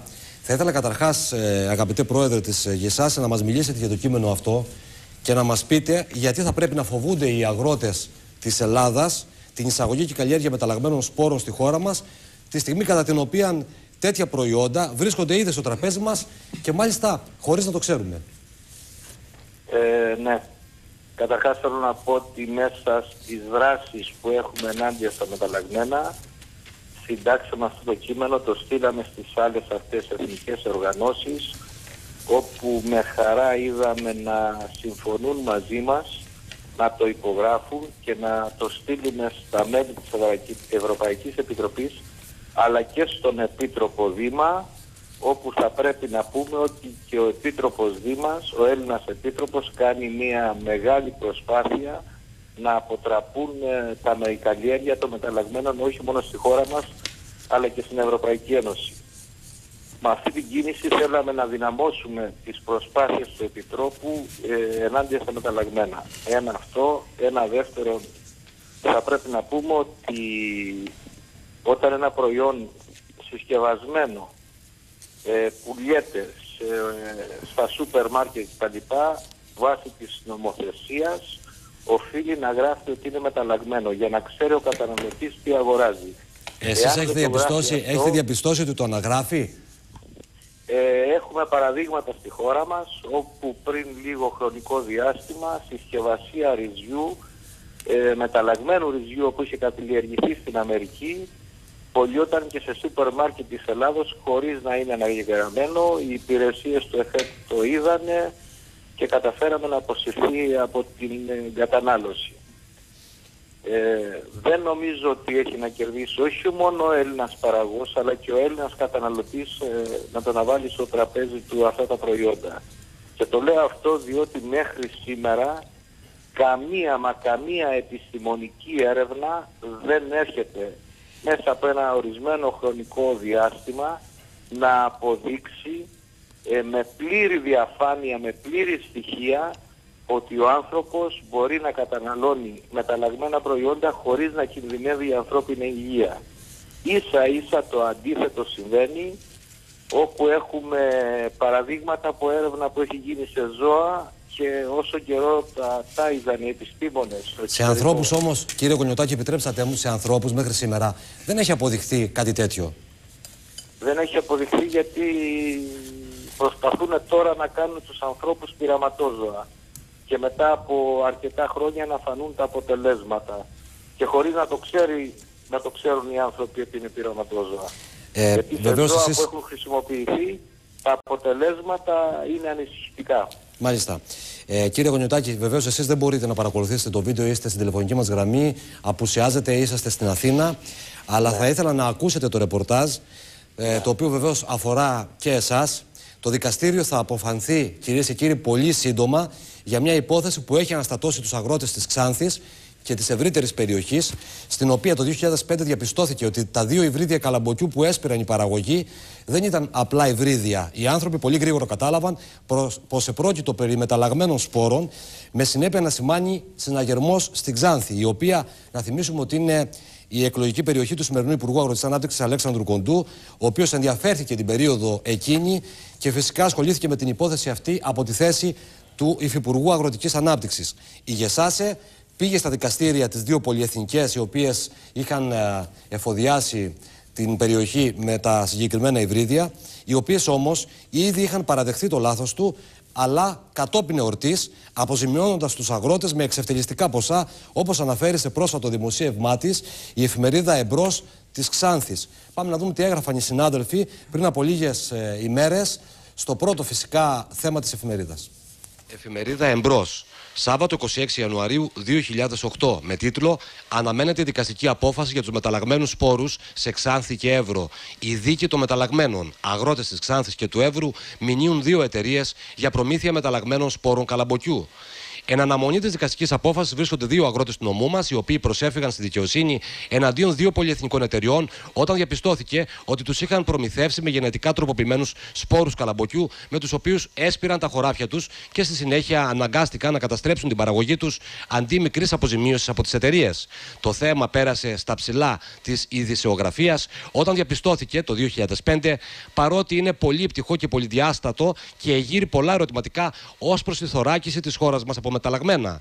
Το Ε διενήργησε έρευνα με όλα τα εμπλεκόμενα μέρη της υπόθεσης, καθώς το θέμα ενδιαφέρει όλους τους πολίτες που έχουν δικαίωμα να γνωρίζουν αν, παρότι η χώρα μας έχει κλείσει την πόρτα στα μεταλλαγμένα με σειρά αποφάσεών της, τη στιγμή που η Ευρώπη αυξάνει από 0,5 σε 0,9 την νόμιμη εισαγωγή τους, και αν, παρότι γίνεται όπως είναι γνωστό από το Υπουργείο Αγροτικής Ανάπτυξης, μια μείζωνα προσπάθεια προς την κατεύθυνση της άλλης γεωργίας, κατά δηλώσεις του Υφυπουργού κ. Κοντού και της ενδυνάμωσης της παραγωγής βιολογικών προϊόντων, αν, παρόλα αυτά, κάποιες ισχυρές πολυεθνικές, από λάθος όπως ισχυρίζονται, βρίσκουν κερκόπορτες και αν σκοπίμως επιβάλλουν μεταλλαγμένους σπόρους, παρακάπτοντας τους ελεγκτικούς μηχανισμούς προκειμένου να ανοίξουν την αγορά μεταλλαγμένων στην Ελλάδα. Το κέριο ερώτημα του θέματος έγκυται στο εξής. Ναι, μεν η παραγωγή καταστράφηκε, όμως αυτό έγινε σε χρόνο έγκαιρο πριν επιμολυνθεί το χωράφι και συνεπώς και οι επόμενες παραγωγές ή και οι γύρω από το χωράφι παραγωγές. Αυτό βέβαια θα σημαίνει ότι τα μεταλλαγμένα μας ήρθαν από την πίσω πόρτα, ουσιαστικά μας επιβλήθηκαν με ό,τι μπορεί αυτό να σημαίνει για την υγεία μας, καθώς υπάρχουν έρευνες που αποδεικνύουν ότι είναι επικίνδυνα και για το λόγο αυτό η Ευρώπη επιμένει αρνητικά στην πίεση των Ηνωμένων Πολιτειών της Αμερικής, όπου η παραγωγή μεταλλαγμένων είναι ευρεία. Κύριε Κονιωτάκη, ακούσατε το ρεπορτάζ. Ε, θα ήθελα να μας πείτε κάποια πράγματα σε σχέση με την απόφαση του δικαστηρίου. Όπως αναφέρουν και οι συνάδελφοι στο δημοσίευμά τους, πάρα πολύ σύντομα θα εκδοθεί αυτή η απόφαση. Ναι, κοιτάξτε να δείτε. Καταρχάς θα πρέπει να τονίσουμε ότι βάσει υπουργικών αποφάσεων στη χώρα μας θα παραγορεύεται η καλλιέργεια μεταλλαγμένων προϊόντων. Ε, η καλλιέργεια αυτή που ανακαλύφθηκε είναι μόνος στην Ξάνθη, ήταν και στον Εύρο, ήταν και στη Δράμα. Όπου πράγματι πουλήθηκε σπόρος καλαμποκιού ότι ήταν συμβατικός ενώ αποδείχθηκε υπερμεταλλαγμένος. Βέβαια όταν φύτρωσαν τα φυτά και ανακαλύφθηκε ότι ήταν μεταλλαγμένος η παραγωγή καταστράφηκε. Όμως θέλω να σας δώσω ένα καινούριο στοιχείο. Πριν λίγες μέρες μίλησα με κάποιοι από αυτούς τους παραγωγούς. Μου είπε ότι το χωράφι του ακόμα στην ουσία δεν έχει συνέλθει. Τα φυτά δεν ακολουθούν τη διαδρομή που πρέπει να ακολουθήσουν για να μεγαλώσουν. Υπάρχει ακόμα πρόβλημα για να καταλάβετε τη μόλις του περιβάλλοντος. Πρώτο αυτό. Ένα δεύτερο είναι ότι αν σε ένα χωράφι έχουμε καλλιέργεια μεταλλαγμένου καλαμποκιού, η επιμόλυση ε, επικαλύπτει και τα δίπλα χωράφια. Καταλαβαίνετε γιατί τρομακτικά πράγματα μιλάμε. Τώρα, όσον αφορά τη δικαιοσύνη, μετά από συνεχή ψάξιμο και ανέβρεση στοιχείων σε συνεννόηση με τους παραγούς, κατέθηκαν αγωγές εναντίον των πολυεθνικών εταιριών. Είναι δύο δικαστήρια. Το ένα δικαστήριο ήταν να γίνει πριν λίγους μήνες αλλά πήρε αναβολή και θα γίνει τον Γενάρη του 2009. Το άλλο δικαστήριο έγινε. Στην ουσία όμως ο δικαστής θεώρησε τον εαυτό του αναρμόδιο, δεν έβγαλε απόφαση στην ουσία και θα το επαναφέρουμε ξανά αυτό το δικαστήριο να συνδικαστεί μαζί με το άλλο το 2009, το Γενάρη του 2009. Αυτό όσον αφορά το νομικό κομμάτι. Όμως θέλω να πω ότι σε αυτή την προσπάθεια βρήκαμε και ανταπόκριση από την Επιτροπή Περιβάλλοντος της προηγούμενης Βουλής όπου όλοι οι βουλευτές όλων των κομμάτων ε, μας στήριξαν θα έλεγα και μάλιστα και με στη νέα Επιτροπή Περιβάλλοντος της Βουλής πιστεύω ότι θα έχουμε την ανάλογη μεταχείριση. Ε, πρέπει να πω ότι πάρα πολλές ε, οργανώσεις αγροτικές, περιβαλλοντολογικές αλλά και άλλων κοινωνικών τάξεων σε επίπεδο Ευρωπαϊκής Ένωσης περιμένουν αυτή την έκβαση αυτής της μάχης, της νομικής μάχης που δίνουμε στη χώρα μας. Μάλιστα. Κύριε Γονιωτάκη, ε, θα σας παρακαλώ να βάλετε μια άνω τελεία. Ο κύριος Καμπουράκης, ο κύριος Μαλό Καμπουράκης είναι ερευνητής στο ΕΘΙΑΓΙ και ασχολείται με την επιμόλυνση, με την πιθανή επιμόλυνση ε, των καλλιεργειών από την επέκταση ε, των ε, μεταλλαγμένων ε, καλλιεργειών ε, σε μη μεταλλαγμένες. Αυτό το οποίο λένε οι αγρότες, κύριε Καμπουράκη, ε, μπορεί να ευσταθεί πράγματι; Ε, αυτό που θα ήθελα εγώ να πω είναι ότι δεν ξέρουμε, τουλάχιστον εγώ δεν γνωρίζω, δεν ασχολούμαι με γενετικά τροφημένα με καλαμπόκι. Αλλά αυτό που έχω τουλάχιστον κάποια έκθεση από τις ΗΠΑ που καλλιεργούνται για χρόνια, αν, αν μιλάμε για καλαμπόκι που ήταν ε, ανθεκτικό στο Roundup, να το λέμε απλά που το ξέρουμε παραγωγή, σε ζανιοκτόνο, ε, αυτό σίγουρα, αυτό που έχουμε, τουλάχιστον αυτά τα στοιχεία που έχουμε από τις ΗΠΑ είναι ότι σταδιακά αυξήθηκε η χρήση του Roundup, Roundup. σε αυτές τις καλλιέργειες. Ενώ στην αρχή ήταν μειωμένη, όπως και αυτός ήταν και ο στόχος. Βέβαια, θα πρέπει να σημειώσουμε εδώ, γιατί πάνω πρέπει να τα λέμε από κάθε πλευρά, ότι το, ε, το Roundup μέχρι βγήκε, ήταν πατέντα της Μοσάντο, έχει σπάσει. Μπορεί να το βγάλουν και άλλες εταιρείες και το καλαμπόκι, περισσότερες ποικιλίες καλαμποκίου που είναι Roundup Ready, δηλαδή που είναι έτοιμες που αντέχουν στο Roundup, ε, είναι πάλι της Να μου το εξηγήσεις λίγο αυτό, τι εννοούμε ότι αντέχουν στο Roundup; Δηλαδή, εμείς ε, το καλαμπόκι σαν γενετικά τροπημένο φυτό, οι συγκεκριμένες ποικιλίες, κάποιες που έχει η Μοσάντο, έχουν και άλλες εταιρείες βέβαια πλέον, όπως και η Bayern, ε, μπορούμε να ψεκάζουμε τα φυτά μας ώστε να καταπολεμήσουμε τα ζάνια, να κάνουμε ζανιοκτονία ή αντί για να την κάνουμε μηχανική, δηλαδή με εδαφοκατεργασία ή με τα χέρια ή οτιδήποτε άλλο, ψεκάζουμε με ένα ζανιοκτόνο, όπως κάνουμε και στη βατική γεωργία. Στη συγκεκριμένη λοιπόν καλλιέργεια χρειάζεται μεγαλύτερη δόση. Ε, αυτό που κάνουμε είναι να έχουμε ε, η καλλιέργεια είναι ανθεκτική ώστε να μπορούμε να εφαρμόζουμε το Roundup ώστε να έχουμε λιγότερα ζάνια, άρα λιγότερα προβλήματα στην καλλιέργεια. Αυτό, θα, αυτό ήταν και ο στόχος που βγήκαν αυτές οι ποικιλίες καλαμποκίου. Το ακριβώς αντίθετο. Ε, αυτό όμως που έγινε στην πράξη είναι ότι το Roundup πλέον έχει σπάσει πατέντα του. Άρα το βγάζουν πολλές εταιρείες. Οι εταιρείες αυτές βέβαια δεν είναι πάνω το ο παραγωγός, εφαρμόζει κάποιες ποσότητες ενός φυτοφαρμάκου ε, όχι πάντοτε με καθαρά επιστημονικά κριτήρια. Δηλαδή αυτό χρειάζεται ένα στρέμμα. Πολλές φορές έχει να κάνει το marketing, πώς θα προωθηθεί το προϊόν και πλέον το προωθούν πολλές εταιρείες. Ένα, ένα πράγμα είναι αυτό. Το δεύτερο είναι ότι ναι, μεν ε, μπορούμε να ψεκάσουμε, αλλά απ' την άλλη εμφανίζεται συχνά το φαινόμενο ότι κάποια ζάνια ή αποκτούν ανθεκτικότητα, είναι πιο ανθεκτικά ή έχουμε κάποια που δεν τα, τα πολεμούμε. Το Roundup καταπολεμεί κυρίως πολιετής ζάνια, διαστηματικό ζανιοκτόνο. Οπότε έχουμε όλα αυτά τα φαινόμενα. Άρα αυτά κάπως μπορεί να μην τα πάρουμε υπόψη μας η εταιρεία που το έβγαλε αυτό. Τώρα, αν συνέβη αυτό, δηλαδή επειδή στη χώρα μας ειδικά έχουμε και μια μεγάλη ποικιλότητα, δεν ξέρω στις συγκεκριμένες περιοχές, δεν έχω δουλέψει, δεν γνωρίζω στον Εύρο, στη Δράμα τι έχει γίνει. Αλλά αν εμείς έχουμε μια ποικιλότητα αυτοφύου χλωρίδας που δεν ε, ανταποκρίνει, πώς ανταποκριθεί αυτό το πράγμα σε ψεκασμούς με ραντά ή άλλους ζανιοκτόνο δεν το γνωρίζουμε. Δηλαδή, μπορεί να έχουμε αντί για να έχουμε κάποια θετικά αποτελέσματα, αυτό τουλάχιστον φάνηκε στις ΗΠΑ και είναι τεκμηριωμένο, καταλήξαμε να έχουμε μεγαλύτερη χρήση του ζενιοκτώνου, αντί για να τη μειώσουμε. Ο στόχος ήταν δηλαδή να τη μειώσουμε με το γενετικά, τροπημένο, γενετικά τροπημένη ποικιλία καλαμποκιού και στο τέλος εμείς αυξήσαμε τις ποσότητες. Άρα λοιπόν αμέσως, αμέσως. Αυτό, ε, μπορεί, αυτό υπάρχει ένα, ένα ρίσκο. από τους μύθους που επικαλείται η Greenpeace. Αμέσως, αμέσως λοιπόν ε, αποδεικνύεται μύθος. σημαίνει κύριε Παπαδάκη Παρακαλώ. περισσότερη καταστροφή του περιβάλλοντος.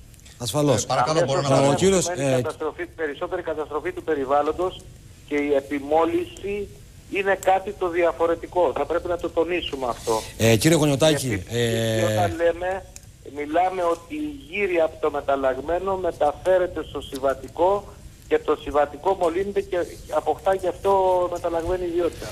Κύριε Γονιωτάκη, ε, αντελήφθη ότι ο κύριος Πανόπουλος, Νίκος Πανόπουλος, αναπληρωτής πρόεδρος του τμήματος βιολογίας και καθηγητής βιολογίας στο Πανεπιστήμιο Κρήτης, έχει κάποιες ενστάσεις σε κάποια από αυτά τα οποία αναφέρατε, ίσως και σε όλα τα στα οποία αναφερθήκατε, να τον ακούσουμε. Να τον ακούσουμε. Ε, κύριε Γονιτάκη, καλησπέρα σας. Καλησπέρα. Ε, θα ήθελα να σας παρακαλέσω, αν τυχαίνει να ξέρετε, γιατί ε, ενδεχομένως δεν είστε στη θέση να ξέρετε, όπως δεν είμαι και εγώ στη θέση να ξέρω, ε, τα εξής πράγματα και να μας απαντήσετε ε, ε, αν έχετε την καλοσύνη. Η περίπτωση που περιγράφεται των καλαποκιών στη Ξάνθη αφορούσε τι είδους γενετική τροποποίηση, ανθεκτικότητα σε ζενιοκτώνα ή ανθεκτικότητα σε έντομα. Πρώτον. Δεύτερον, ήταν 100% γενετικά τροποποιημένος ο σπόρος ή προ- μιλάμε για επιμόλυνση συμβατικού σπόρου με κάποια, κάποιες προσμίξεις γενετικά μεταλλαγμένου, γενετικά τροποποιημένου και τι είδους γενετική τροποποίηση ε, είχε παρισφρήσει στην ε, συμβατική σπορομερίδα; Ε, είστε στη θέση να μου πείτε γιατί δεν έχω υπόψη μου την περίπτωση. Ναι, αυτό που για δεν έχω και εγώ τα έγγραφα μαζί μου αυτή τη στιγμή, ο σπόρος ήταν 100% γενετικά τροποποιημένος, πουλήθηκε για συμβατικός στους παραγωγούς, τα φυτά δεν πρόλαβαν να αποκτήσουν μεγάλο μέγεθος, ανακαλύφθηκε σε μικρό μέγεθος από τις υπηρεσίες του κράτους και αμέσως δόθηκε εντολή να καταστραφεί η καλλιέργεια αυτή. Αυτά μπορώ να σας πω τώρα γιατί δεν έχω και τα απαραίτητα έγγραφα μαζί μου. Ωραία. Για Να να σας σας ρωτήσω δώσω κάτι περισσότερα επί του στοιχεία. τελευταίου ο, της λεπτομέρειας που αναφέρατε. Αν δόθηκε από το κράτος άμεσα η εντολή να καταστραφούν με όργωση, άρρωση, καύση, δεν ξέρω τι, πώς προκύπτει ότι προέκυψαν επιπτώσεις στην καλλιέργεια ή στο περιβάλλον εκεί την επόμενη χρονιά, αφού δεν κάρπισαν καν; Δεν, ένα λεπτό να θέλω να διευκρινίσουμε κάτι. Δεν είπαμε ότι στο συγκεκριμένο υπάρχει επιμόλυση. Η επιμόλυση είναι σε άλλες περιοχές του πλανήτη όπου γίνεται καλλιέργεια Α, μεταλλαγμένων. συγγνώμη, το, κα, κα- εννο- ε, νο- νόμιζα ότι μιλάτε για επιμόλυνση Είπα όμως στη- ότι και στην περιοχή αυτή στην Ξάνθη. οι παραγωγοί καταγγέλνουν κάποια παράξενα φαινόμενα. Ένα λεπτό, ένα λεπτό. Ποια είναι τα ένα παράξενα λεπτό. φαινόμενα. Με τις καλλιέργειές Ένα τους. λεπτό. Α, Ε, ωραία, να τα πούμε, ποια είναι. Να, να σας απαντήσω, ακούστε με. Αυτό που είχα σε, προ- σε συζήτηση προηγούμενες ημέρες με κάποιους από τους παραγούς, μου είπε, μου ανέφερε χαρακτηριστικά ότι ο άνθρωπος συνεχίζει και καλλιεργεί με μονοετής καλλιέργειες, αεροτρίας καλλιέργειες. Και τα φυτά πλέον δεν αναπτύσσονται όπως αναπτυσσόταν πριν γίνει αυτή η ιστορία. Τι φυτά καλλιεργεί, συγγνώμη, ξέρετε; Αεροτρές καλλιέργειες είναι σιτηρά, Όχι, καλαμπόκι ή στάρι, γιατί είναι άλλο το ένα, άλλο το άλλο. Πότε το ένα, πότε το άλλο. Τι σημασία έχει. Ωραία, επομένως, μια χρονιά ε, τυχαίας, ε, ε, παράνομης προφανώς, ε, ο σποράς, καλλιέργειας καλαμποκιού με κάποια γενική τροποποίηση, τροποποίηση της οποίας στη φύση δεν ξέρουμε, οδήγησε σε, σε υποβάθμιση του, της ποιότητας του χωραφιού για καλλιέργεια σταριού. Αυτό μας λέτε δηλαδή; Η καλλιέργεια καλαμποκιού. Εγώ δεν μπορώ να το καταλάβω. Γεωπόνος είμαι, τα νιάτα μου τα έφαγα σε αγροτική οικογένεια και έχω οργώσει, έχω σπείρει και έχω θερήσει και έχω αλωνίσει. Τέτοιου είδους επιπτώσεις μου είναι αδύνατο να διανοηθώ, εκτός αν έχετε περισσότερα ειδικά στοιχεία για ποια τροποποίηση ε, μιλάμε και γιατί διαχείριση Κοιτάξτε υπέστη να αυτή δείτε, κοιτάξτε να η δείτε, καλλιέργεια. κοιτάξτε να δείτε, για να βάλουμε τα πράγματα στη θέση τους. Ε, αυτό θέλω και εγώ, να τα βάλουμε στις θέσεις τους. Ναι, Βοηθήστε ναι. μας αν ξέρετε, Δηλαδή- γιατί εγώ δεν, δεν είμαι στη θέση να ξέρω. Δηλαδή, δέχεστε εσεί ότι δεν υπάρχει επιμόλυση από καλλιέργεια γενετικών τροποποιημένων ε, σπορών. Για πού μιλάμε, για την Κρήτη, για την Ξάνθη, για τον Μιλάμε κόσμο; γενικά, οπουδήποτε για Τι γενικά; καλλιέργεια. Εγώ δεν μπορώ να Τι μιλήσω γενικά, ειδικά μιλάμε. Όχι, δεν είναι θέμα εργή- Αν ένα χωράφι καλλιεργηθεί με μεταλλαγμένα προϊόντα, είναι σίγουρο ότι όταν αναπτυχθεί το φυτό και πάρει την κανονική του μορφή, η επιμόλυση πιάνει και το διπλανό χωράφι που είναι με συμβατικό σπόρο. Αυτό είναι αποδεδειγμένο επιστημονικά. Εξαρτα- Το έχουν παραδεχτεί οι πάντες. Τέλος. Κύριε Γονιωτάκη, σαν γεωπόνος που θεωρώ ότι είστε, αν δεν κάνω λάθος. Δεν είμαι γεωπόνος, Όχι, δεν είναι είμαι γεωπόνος. αγρότης. Α, δεν είσαι Είμαι γεωπόνος. Εκπροσωπεί του αγρότε. Είναι, Λοιπόν, είναι αγρότης. Ο άνθρωπος είναι πρόεδρος του Ανωτάτου Συνδικαλιστικού Ναι. Οργάνου των Αγροτών της χώρας. υπάρχουν φυτά που είναι ετερογονιμοποιούμενα και υπάρχουν φυτά που δεν είναι ετερογονιμοποιούμενα. Δηλαδή, στα πόσα μέτρα μεταφέρεται η γύρω και γονιμοποιείται το, το, το διπλανό χωράφι. Αν βέβαια είναι από το ε, φυτεμένο, σπαρμένο με την ίδια καλλιέργεια που δέχεται τη γύρι του γείτονα. Λοιπόν, τα πράγματα δεν μπορούμε να τα γενικεύουμε με τον τρόπο που δυστυχώς έχουμε όλοι μας μαζικά και ατομικά οδηγηθεί να τα γενικεύουμε. Εάν δεν τα φέρουμε στο κατά περίπτωση, συγγνώμη, αλλά εγώ δεν νομίζω ότι αξίζει τον χρόνο μας να κουβεντιάζουμε και να παραπλανούμε για τον κόσμο. Δεν το λέω προσωπικά. Α, με Αυτό συγχωρείτε είναι η πολύ, γενική μου αλλά- τοποθέτηση ένα από την λεπτό, αρχή ένα λεπτό, ένα λεπτό. και για Το πολλά κόσμο χρόνια. Δεν το παραπλανούμε καθόλου και σας προκαλώ να μου φέρετε μία επιστημονική έρευνα που να λέει με διαφάνεια όμως, προσέξτε τι λέω, και μέσα από κάποιο χρονικό διάστημα να μου λέει ότι ο άνθρωπος μπορεί να βάλει στο πιάτο του προϊόντα μεταλλαγμένα και να το φάει. Και δεν θα πάθει τίποτα η ανθρώπινη υγεία. Γιατί έχουμε προκαλέσει σε δημόσιες συζητήσεις που έχουν γίνει στη χώρα μας και στη Θεσσαλονίκη και στην Αθήνα και πάρα πολύ α, α, και, σε, και σε άλλα μέρη ακόμα θέλετε και της Ευρωπαϊκής Ένωσης έχουμε προκαλέσει πάρα πολλούς επιστήμονες να μας αποδείξουν Κανείς μέχρι τώρα δεν μας έχει φέρει αυτή την επιστημονική έρευνα. Δεν μου Για λέτε αυτό κύριε το Γονιωτάκη και όποιος άλλος ξέρει. Πόσοι άνθρωποι έχουν πεθάνει από κατανάλωση γενετικά τροπημένων οργανισμών; Ή τροφίμων. Α, δηλαδή θα πρέπει να περιμένουμε να πεθάνουν για να τα Όχι, απαγορεύσουμε. συγγνώμη. Μα, Έχει μα, πεθάνει μα, κάποιος ή δεν έχει πεθάνει κανένας; Συγγνώμη, συγγνώμη, ξέρετε. Άμα τι λέτε δεν τώρα. έχει πεθάνει κανένας, δεν έχει πεθάνει κανένας μέχρι σήμερα τουλάχιστον. Σωστό ή όχι; Καταλα... Καταλαβαίνετε τι λέτε; Εγώ, εγώ αν Προκαλείτε καταλαβαίνω, την- εσείς καταλαβαίνετε, αν προκαλείτε καταλαβαίνετε. την Θα κοινή Θέλω ήθελα όμω να ξέρω. να, να παρέμβω λίγο σε αυτή τη συζήτηση. Όχι, συγγνώμη, δηλαδή. Θέλω να πω το εξής όμως. Όταν, ό- 300 εκατομμύρια ε, κάτοικοι της Βόρειας Αμερικής καταναλώνουν για 10 τουλάχιστον χρόνια μεταλλαγμένα να σας τρόφιμα. ενημερώσω όμως κύριε Πανόπουλο Πείτε ότι. μου λοιπόν, Να σας πω ποιοι κάτι. γιατροί Ωραία. Απέδωσαν Θέλω να, μου- να ποιες σας πω- παθολογικές Θέλω να σα πω όμως καταστάσεις. κάτι. Μισό λεπτό κύριε Γονιωτάκη. Θέλω, θέλω, θέλω να, με- να μεταφέρω σε αυτό το σημείο μια σημαντική είδηση. Ένα λεπτό, κύριε Παπαδάκη, συγγνώμη, συγγνώμη, ένα λεπτό, ένα λεπτό. ένα λεπτό. Παρακαλώ. Λυπάμαι πολύ που ακούγονται τέτοιες φράσεις αν έχει πεθάνει κάποιος άνθρωπος. Τα μεταλλαγμένα προϊόντα έχουν βγει τώρα τελευταία στην αγορά. Αναφέρω ένα παράδειγμα. Όταν στη χώρα μας, σε συγκεκριμένες αλυσίδες σούπερ μάρκετ στην Αθήνα, βρέθηκε μεταλλαγμένο ρύζι, το οποίο απεστήρθη. Δεν το ανέγραφε η συσκευασία. Καταγγέλλω και το έχουν απ- και έχει αποδειχθεί. Αν δείτε Άλλο το αυτό το βιντεο- πρόβλημα, κύριε Ένα Γονιωτάκη, και λεπτό, συμφωνώ. παρακαλώ, ακούστε με. Άλλο αυτό το πρόβλημα και συμφωνώ με αυτό που λέτε Στην τώρα. Αμερική. Είχε καλλιεργηθεί στην Αμερική. Οι Α- Δεν το βάλανε στην Αμερικάνικη αγορά για τους καταναλωτές. Το στείλανε στην Ευρωπαϊκή Ένωση να το φάει ο, ο Ευρωπαίος καταναλωτής. Δεν Και είναι να έτσι ακούμε κύριε τέτοια Γονιωτάκη πράγματα. και άμα είχαμε την Ότι ευκαιρία αν θα δεν μπορούσα να σας πω ακριβώς πώς είναι. Κύριε Γονιωτάκη. περιμένουμε να πεθάνει Δεν κανείς, είναι να έτσι. πούμε, Έλεος πλέον, έλεος. Δεν είναι έτσι. Επιμένω γιατί ξέρω ακριβώς τι έχει γίνει. Μου- Μου φαίνεται ότι δεν ξέρετε ακριβώς τι έχει γίνει. Και συγγνώμη που μιλάω έτσι, αλλά δεν μπορώ να ακούω τέτοια πράγματα αν πέθανε κανείς. Κύριε Δηλαδή, Γονιωτάκη. Θα πρέπει να, θα πρέπει να Κύριε πεθάνει Γονιωτάκη. κάποιος για να πούμε απαγορεύονται. Κύριε Γονιωτάκη, με συγχωρείτε αλλά ξέρω πολύ καλά γιατί μιλάω. Άμα, άμα μου δοθεί ευκαιρία θα σας το εξηγήσω. Κύριε Γονιωτάκη, εγώ θέλω να πω στο σημείο αυτό κάτι που έχει σημασία, έχει ενδιαφέρον, ότι με απόφαση του Υπουργού Γεωργίας της Γαλλίας, Μισελ Μπαρνιέ, απαγορεύτηκε η καλλιέργεια στη γαλλική επικράτεια του γενετικά Και του τροποποιημένου ίδιου του μεταλλαγμένου Προέδρου καλαμποκιού του μόνο, Σαρκοζή. μόνο Και του 8-10. ίδιου του Προέδρου του Σαρκοζή. Που παρασκευάζεται από την εταιρεία Σαρκοζή. Μοσάντο. Για ένα Έτσι η χρόνο. Γαλλία Για ένα προστίθεται στο κατάλογο των ευρωπαϊκών χωρών που απαγορεύουν την καλλιέργεια μεταλλαγμένων καλαμποκιών στην επικράτειά τους, στηρώντα επιφυλακτική στάση έναντι των γενετικά τροποποιημένων οργανισμών. Βλέπω λοιπόν μια καθολική Το αντίδραση. οποίο καλαμπόκι μον 810 καλλιεργείται για 7-8-10 χρόνια στην Γαλλία, στη Γερμανία, στην Ισπανία και στην Πορτογαλία. Με ποιες ενδείξεις έλαβε η, πολι- η γαλλική κυβέρνηση αυτή την απόφαση τώρα. Προφανώς με πολιτικά ή άλλα κριτήρια. Όχι επιστημονικά. Επιμένω. Πού ήταν τα επιστημονικά; Πού το ξέρετε εσείς; Πού ήταν τα επιστημονικά; Πού το ξέρετε εσείς; Είμαι σε θέση Εγώ να ξέρω. ίδιος ο Καθηγητής είμαι κύριος- και διαβάζω. Συγγνώμη, συγγνώμη. Ο ίδιος ο πρόεδρος της Γαλλίας πήρε θέση. Ο σημερινός πρόεδρος της Γαλλίας, ο κύριος Σαρκοζής, πήρε θέση ξεκάθαρη και λέει δεν ένα χρόνο, επιτρέπω για στη ένα Γαλλία χρόνος. να καλλιεργούνται μεταλλαγμένα προϊόντα. Μα άλλο να λέει δεν επιτρέπει και άλλο να του ζητάω εγώ να μου, δώσει- να μου, δώσει- να μου στείλει, δώσει επιστημονικές έρευνες που λένε ότι κάτι κακό έγινε. Τις δεύτερες, το τελευταίο θέμα συζητάω. Ε, αμφι- Αμφισβητώ. Γιατί είμαι στη θέση να ξέρω και δεν ξέρω τίποτα. Θέλει να πει ο κύριο Φραγκούλη, έτσι δεν είναι. Θέλει- Μου ζητάει πολύ ώρα τώρα το λόγο. Παρακαλώ. τελειώσω, αν τελειώσει ο παρακαλώ. κύριος Ναι, ναι. Πανόπουλος, ναι. Θα Ε, επανέλθουμε έτσι κι αλλιώς, βεβαίως. Αυτό που, αυτό που θέλω να σχολιάσω και θα ήθελα έτσι να μου δώσετε 3-4 λεπτά είναι για αυτό το δημοσίευμα που, διά, που δείξατε στο βίντεο σας σχετικά με εκείνη τη δίκη που γίνεται στην Ξάνθη. Ε, κύριε Παπαδάκη, σε κάθε επάγγελμα θα πρέπει ο κάθε επαγγελματίας να μάθει να λέει την αλήθεια.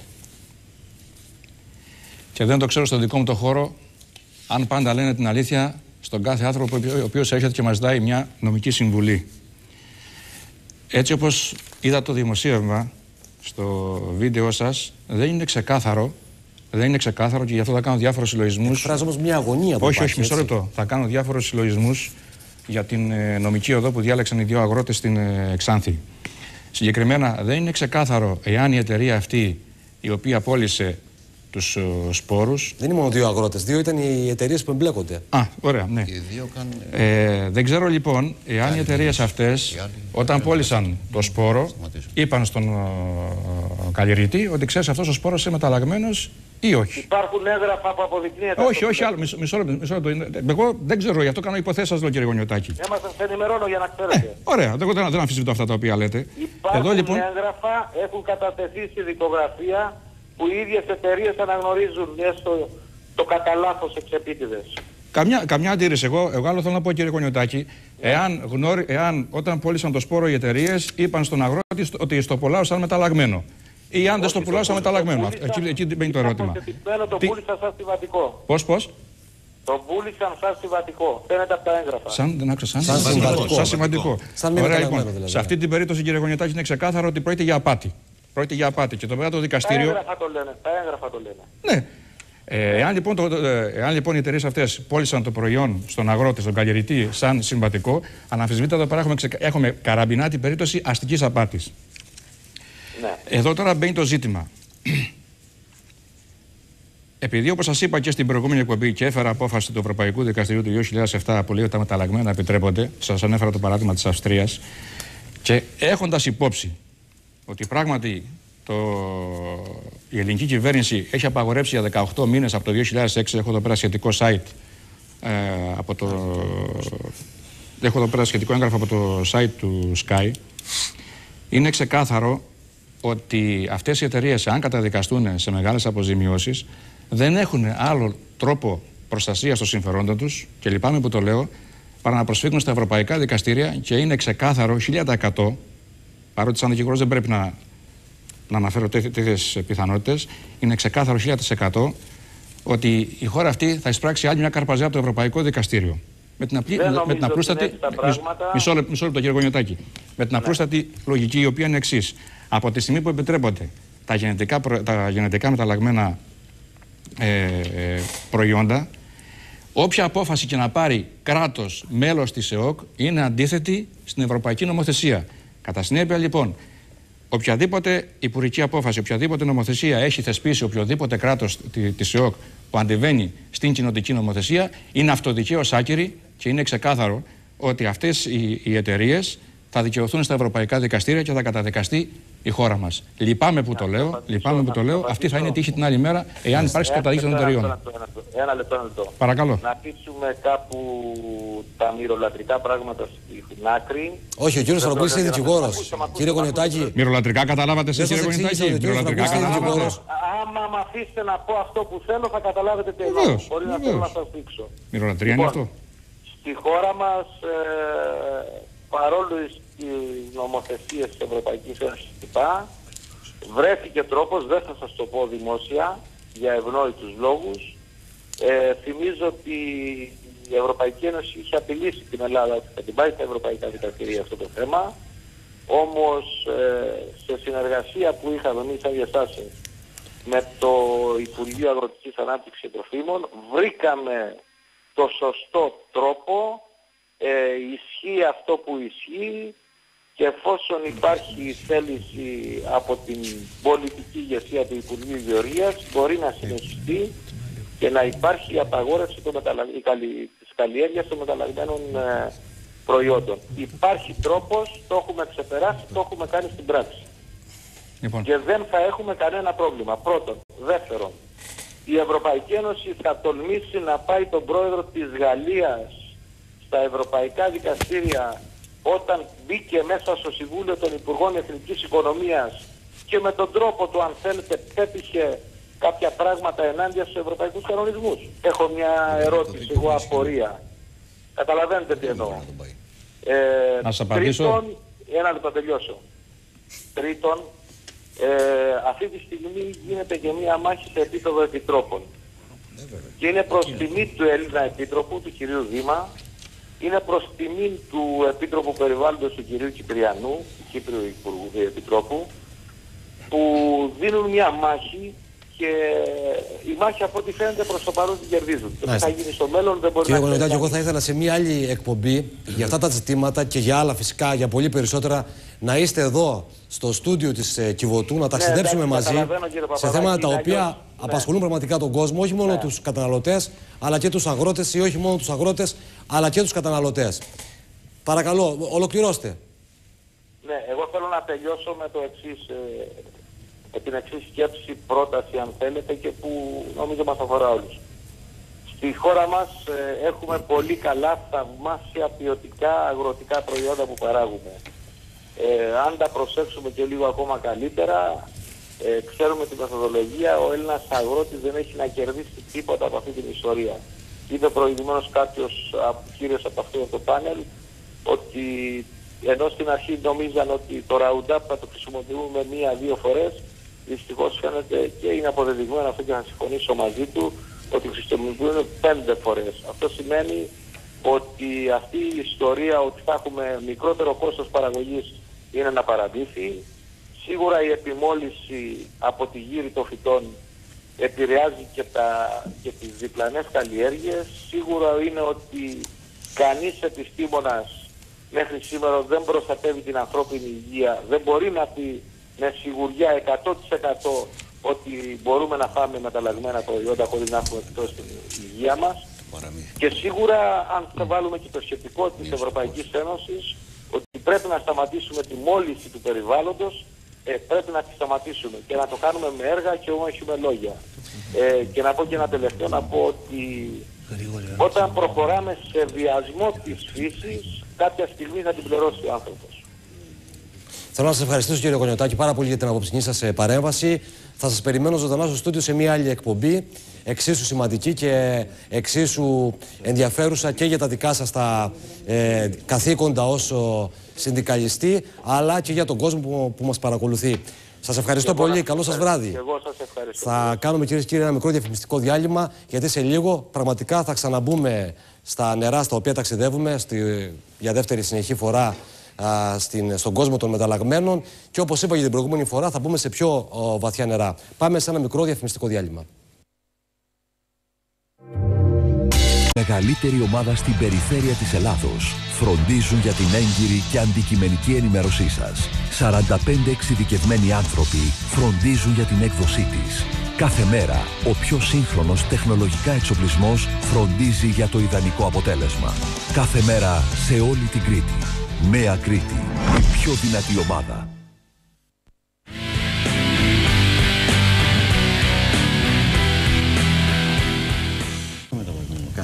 Είπαμε και στην αρχή, κυρίες και κύριοι, ότι τα μηνύματα του κόσμου για την πρώτη μας εκπομπή, για το πρώτο ταξίδι της Κιβωτού, ήταν πολλά και σημαντικά. Εμείς λοιπόν πήραμε την κάμερα και κατεβήκαμε στην αγορά του Ηρακλείου. Δείτε τι μας είπε, τι μας είπε ο κόσμος, ο οποίος, όπως φάνηκε από τις απαντήσεις τις οποίες καταγράψαμε με την κάμερα της εκπομπής, δεν γνωρίζει σχεδόν τίποτα για τα μεταλλαγμένα, αλλά μετά και τα όσα παρακολούθησε από την Κιβωτό, δηλώνει πεπισμένος ότι καθημερινά καταναλώνει μεταλλαγμένα τρόφιμα χωρίς να το ξέρει και φυσικά παρά τη θέλησή του.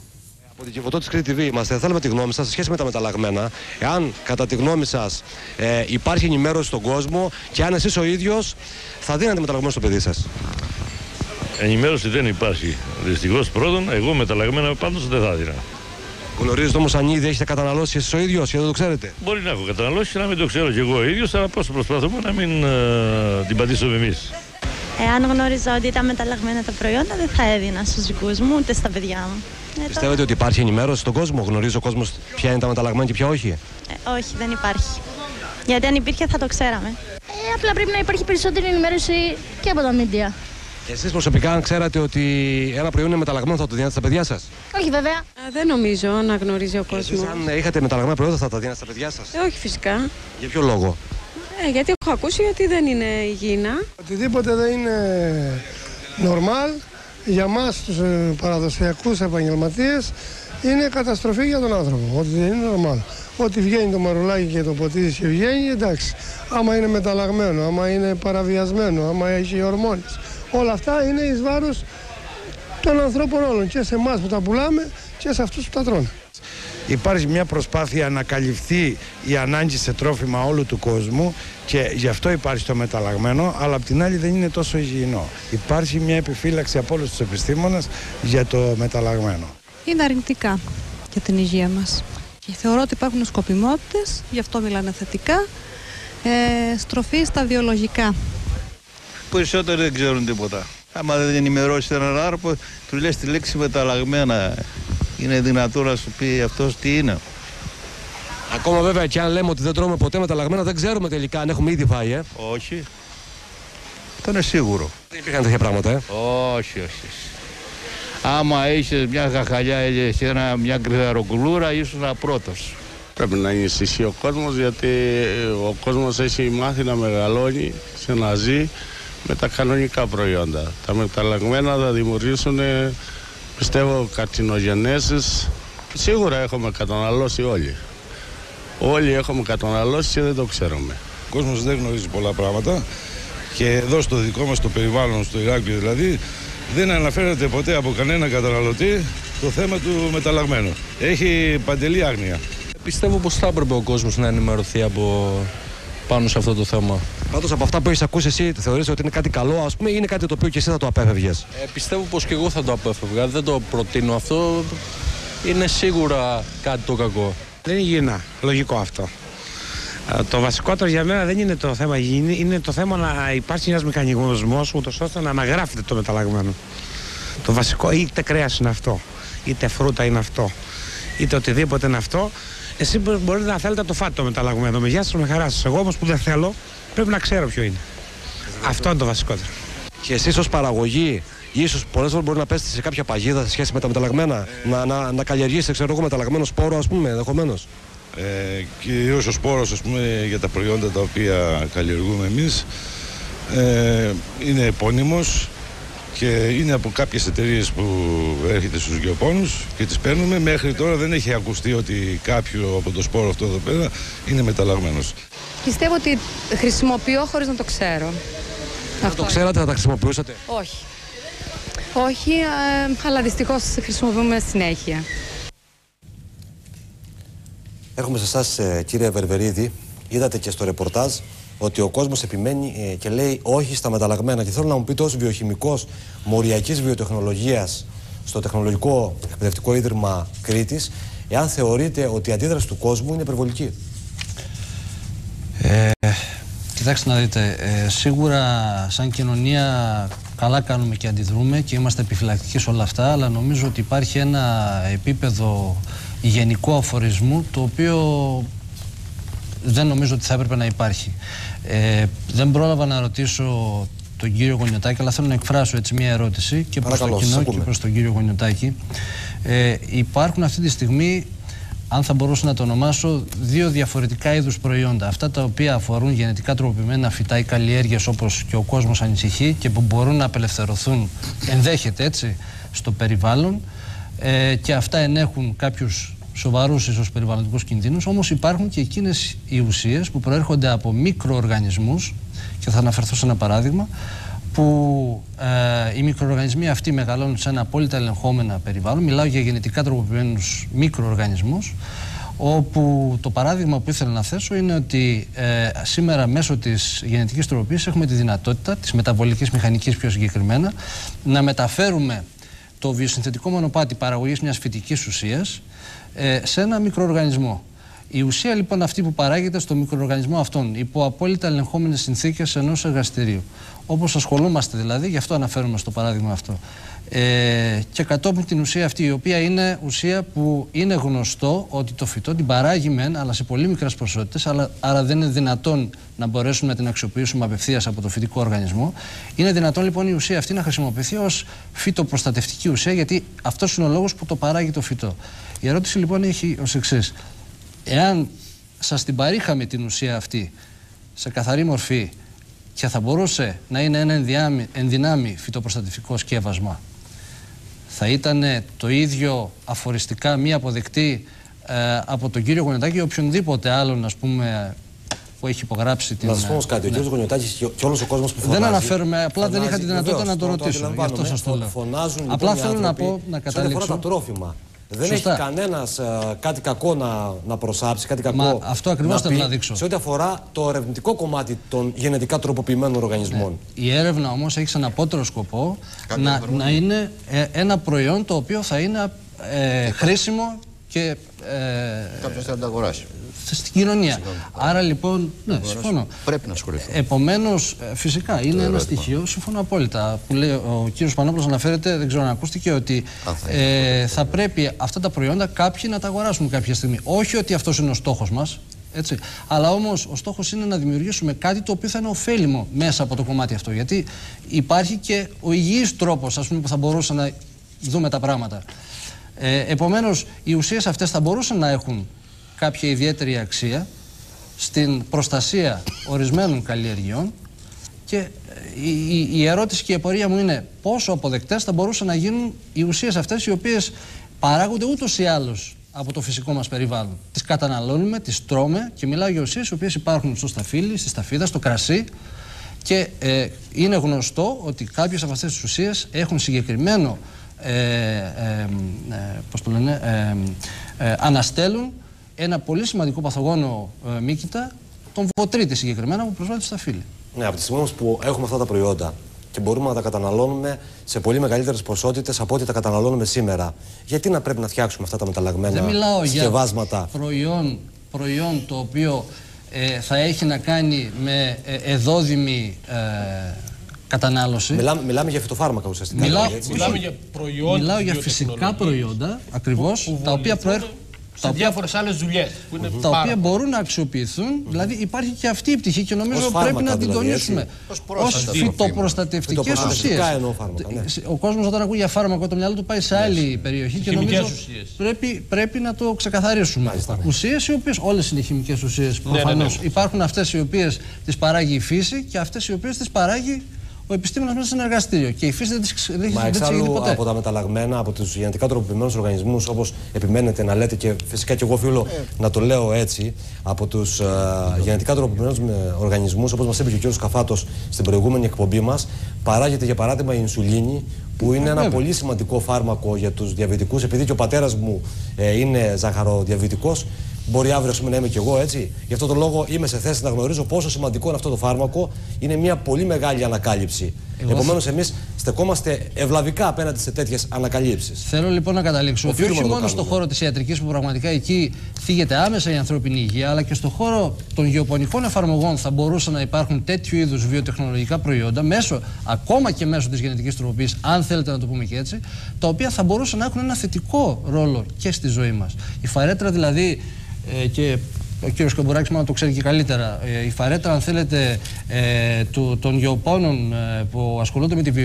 ή των παρα- παραγωγών βιολογικών προϊόντων είναι πολύ περι- σχετικά περιορισμένη σε σχέση με, το, με τα μικρόβια που υπάρχουν αυτή τη στιγμή, τα παθογόνα που υπάρχουν αυτή τη στιγμή και πρέπει να αντιμετωπιστούν με κάποιο τρόπο.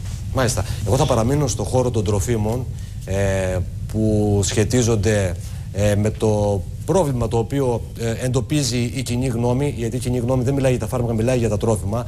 Και θα έρθω στον κύριο Μπιμπάκη, στον πνευμονολόγο. Θα ήθελα να μας πείτε, κύριε Μπιμπάκη, από την έρευνα εκείνη που διεξήγατε το 99-2001, ε, είχατε βγάλει κάποια συμπεράσματα σε ό,τι αφορά τα μεταλλαγμένα προϊόντα; Σίγουρα όμως είχατε προβληματιστεί για τον τομέα των μεταλλαγμένων προϊόντων και είχατε τότε συμφωνήσει ότι κάποια στιγμή θα πρέπει να ασχοληθείτε πολύ περισσότερο με αυτόν τον τομέα. Ναι, ε, στην υπόθεση της, ε, στην υπόθεση εργασίας, στην υπόθεση της έρευνας είχαν συμπεριληφθεί πάρα πολλά στοιχεία. Μεταξύ αυτών των στοιχείων ήταν και η εμπλοκή των μεταλλαγμένων, ήταν και η εμπλοκή των συντηρητικών, ήταν και η εμπλοκή ε, ενδεχομένως γενικά των, των Της τροφίμων. πολυματικότητας των φυτοφαρμάκων. Έτσι, της πολυματικότητας. Ήταν και η κληρονομικότητα, ήταν και οι γενετικοί παράγοντες. Απλώς ο, απαιτείται μια τρίτη φάση, λόγω κόστους. Ε, έχουν κρατηθεί όλα τα στοιχεία της έρευνας σε βάση δεδομένων στο Λονδίνο. Έχουν κρατηθεί 3.000 δείγματα αίματος σε συνθήκες που να μπορούν να δουλευτούν εργαστηριακά και απομένει αυτό το κομμάτι να ερευνηθεί. Το θέμα είναι βέβαια ποιος τελικά θα βάλει το χέρι στην τσέπη, διότι από την πρώτη έρευνα ε, το κόστος που προέκυψε ε, αφορούσε αποκλειστικά σε χρηματοδοτήσεις από Του- τους Βρετανούς. Από τους έτσι. Βρετανούς, από το νοσοκομείο Μπρόμπτον. Και Ούτε, δυστυχώς... ούτε, ούτε ένα ευρώ δεν μπήκε. Ούτε, Δυστυχώς. ένα, από, ούτε μία δραχμή, ας πούμε τότε. Ούτε μία δραχμή. Δεν, Έτσι, ε, και κόστησε αρκετά, διατέθηκε εκατο, από το αρκετά ελληνικό εκατομμύρια. κράτος. Και κάθε τεστ ε, κοστίζει αρκετά, αρκετές χιλιάδες ευρώ. Ε, είναι πανάκριβες οι μέθοδοι. Έτσι, τα kit των ε, εργαστηριακών εξτάσεων και προφανώς ε, πρέπει να υπάρξει μια νέα χρηματοδότηση. Εγώ θα ήθελα να συμφωνήσω όμως με τον ε, κύριο Βερβερίδη στο κομμάτι που αφορά τον άνθρωπο έτσι ε, και αναφέρθηκε στην προηγούμενη εκπομπή πολύ σωστά ο κ. Καφάτος όσον αφορά την ε, παραγωγή ουσιών ή τέλος πάντων διαφόρων προϊόντων τα οποία σίγουρα ε, προάγουν την υγεία του ανθρώπου. Το ερώτημα κύριε Παπαδάκη είναι εάν ε, πρώτον ε, πάντα ο στόχος είναι μιας έρευνας των επιστημόνων αυτός ή πολλές φορές, γιατί πρέπει να είμαστε ειλικρινείς, οι επιστήμονες στοχεύουν μεν εκεί, αλλά έχουμε παράπλευρες, ας το πούμε, ε, έρευνες που χρηματοδοτούνται και από εταιρείες.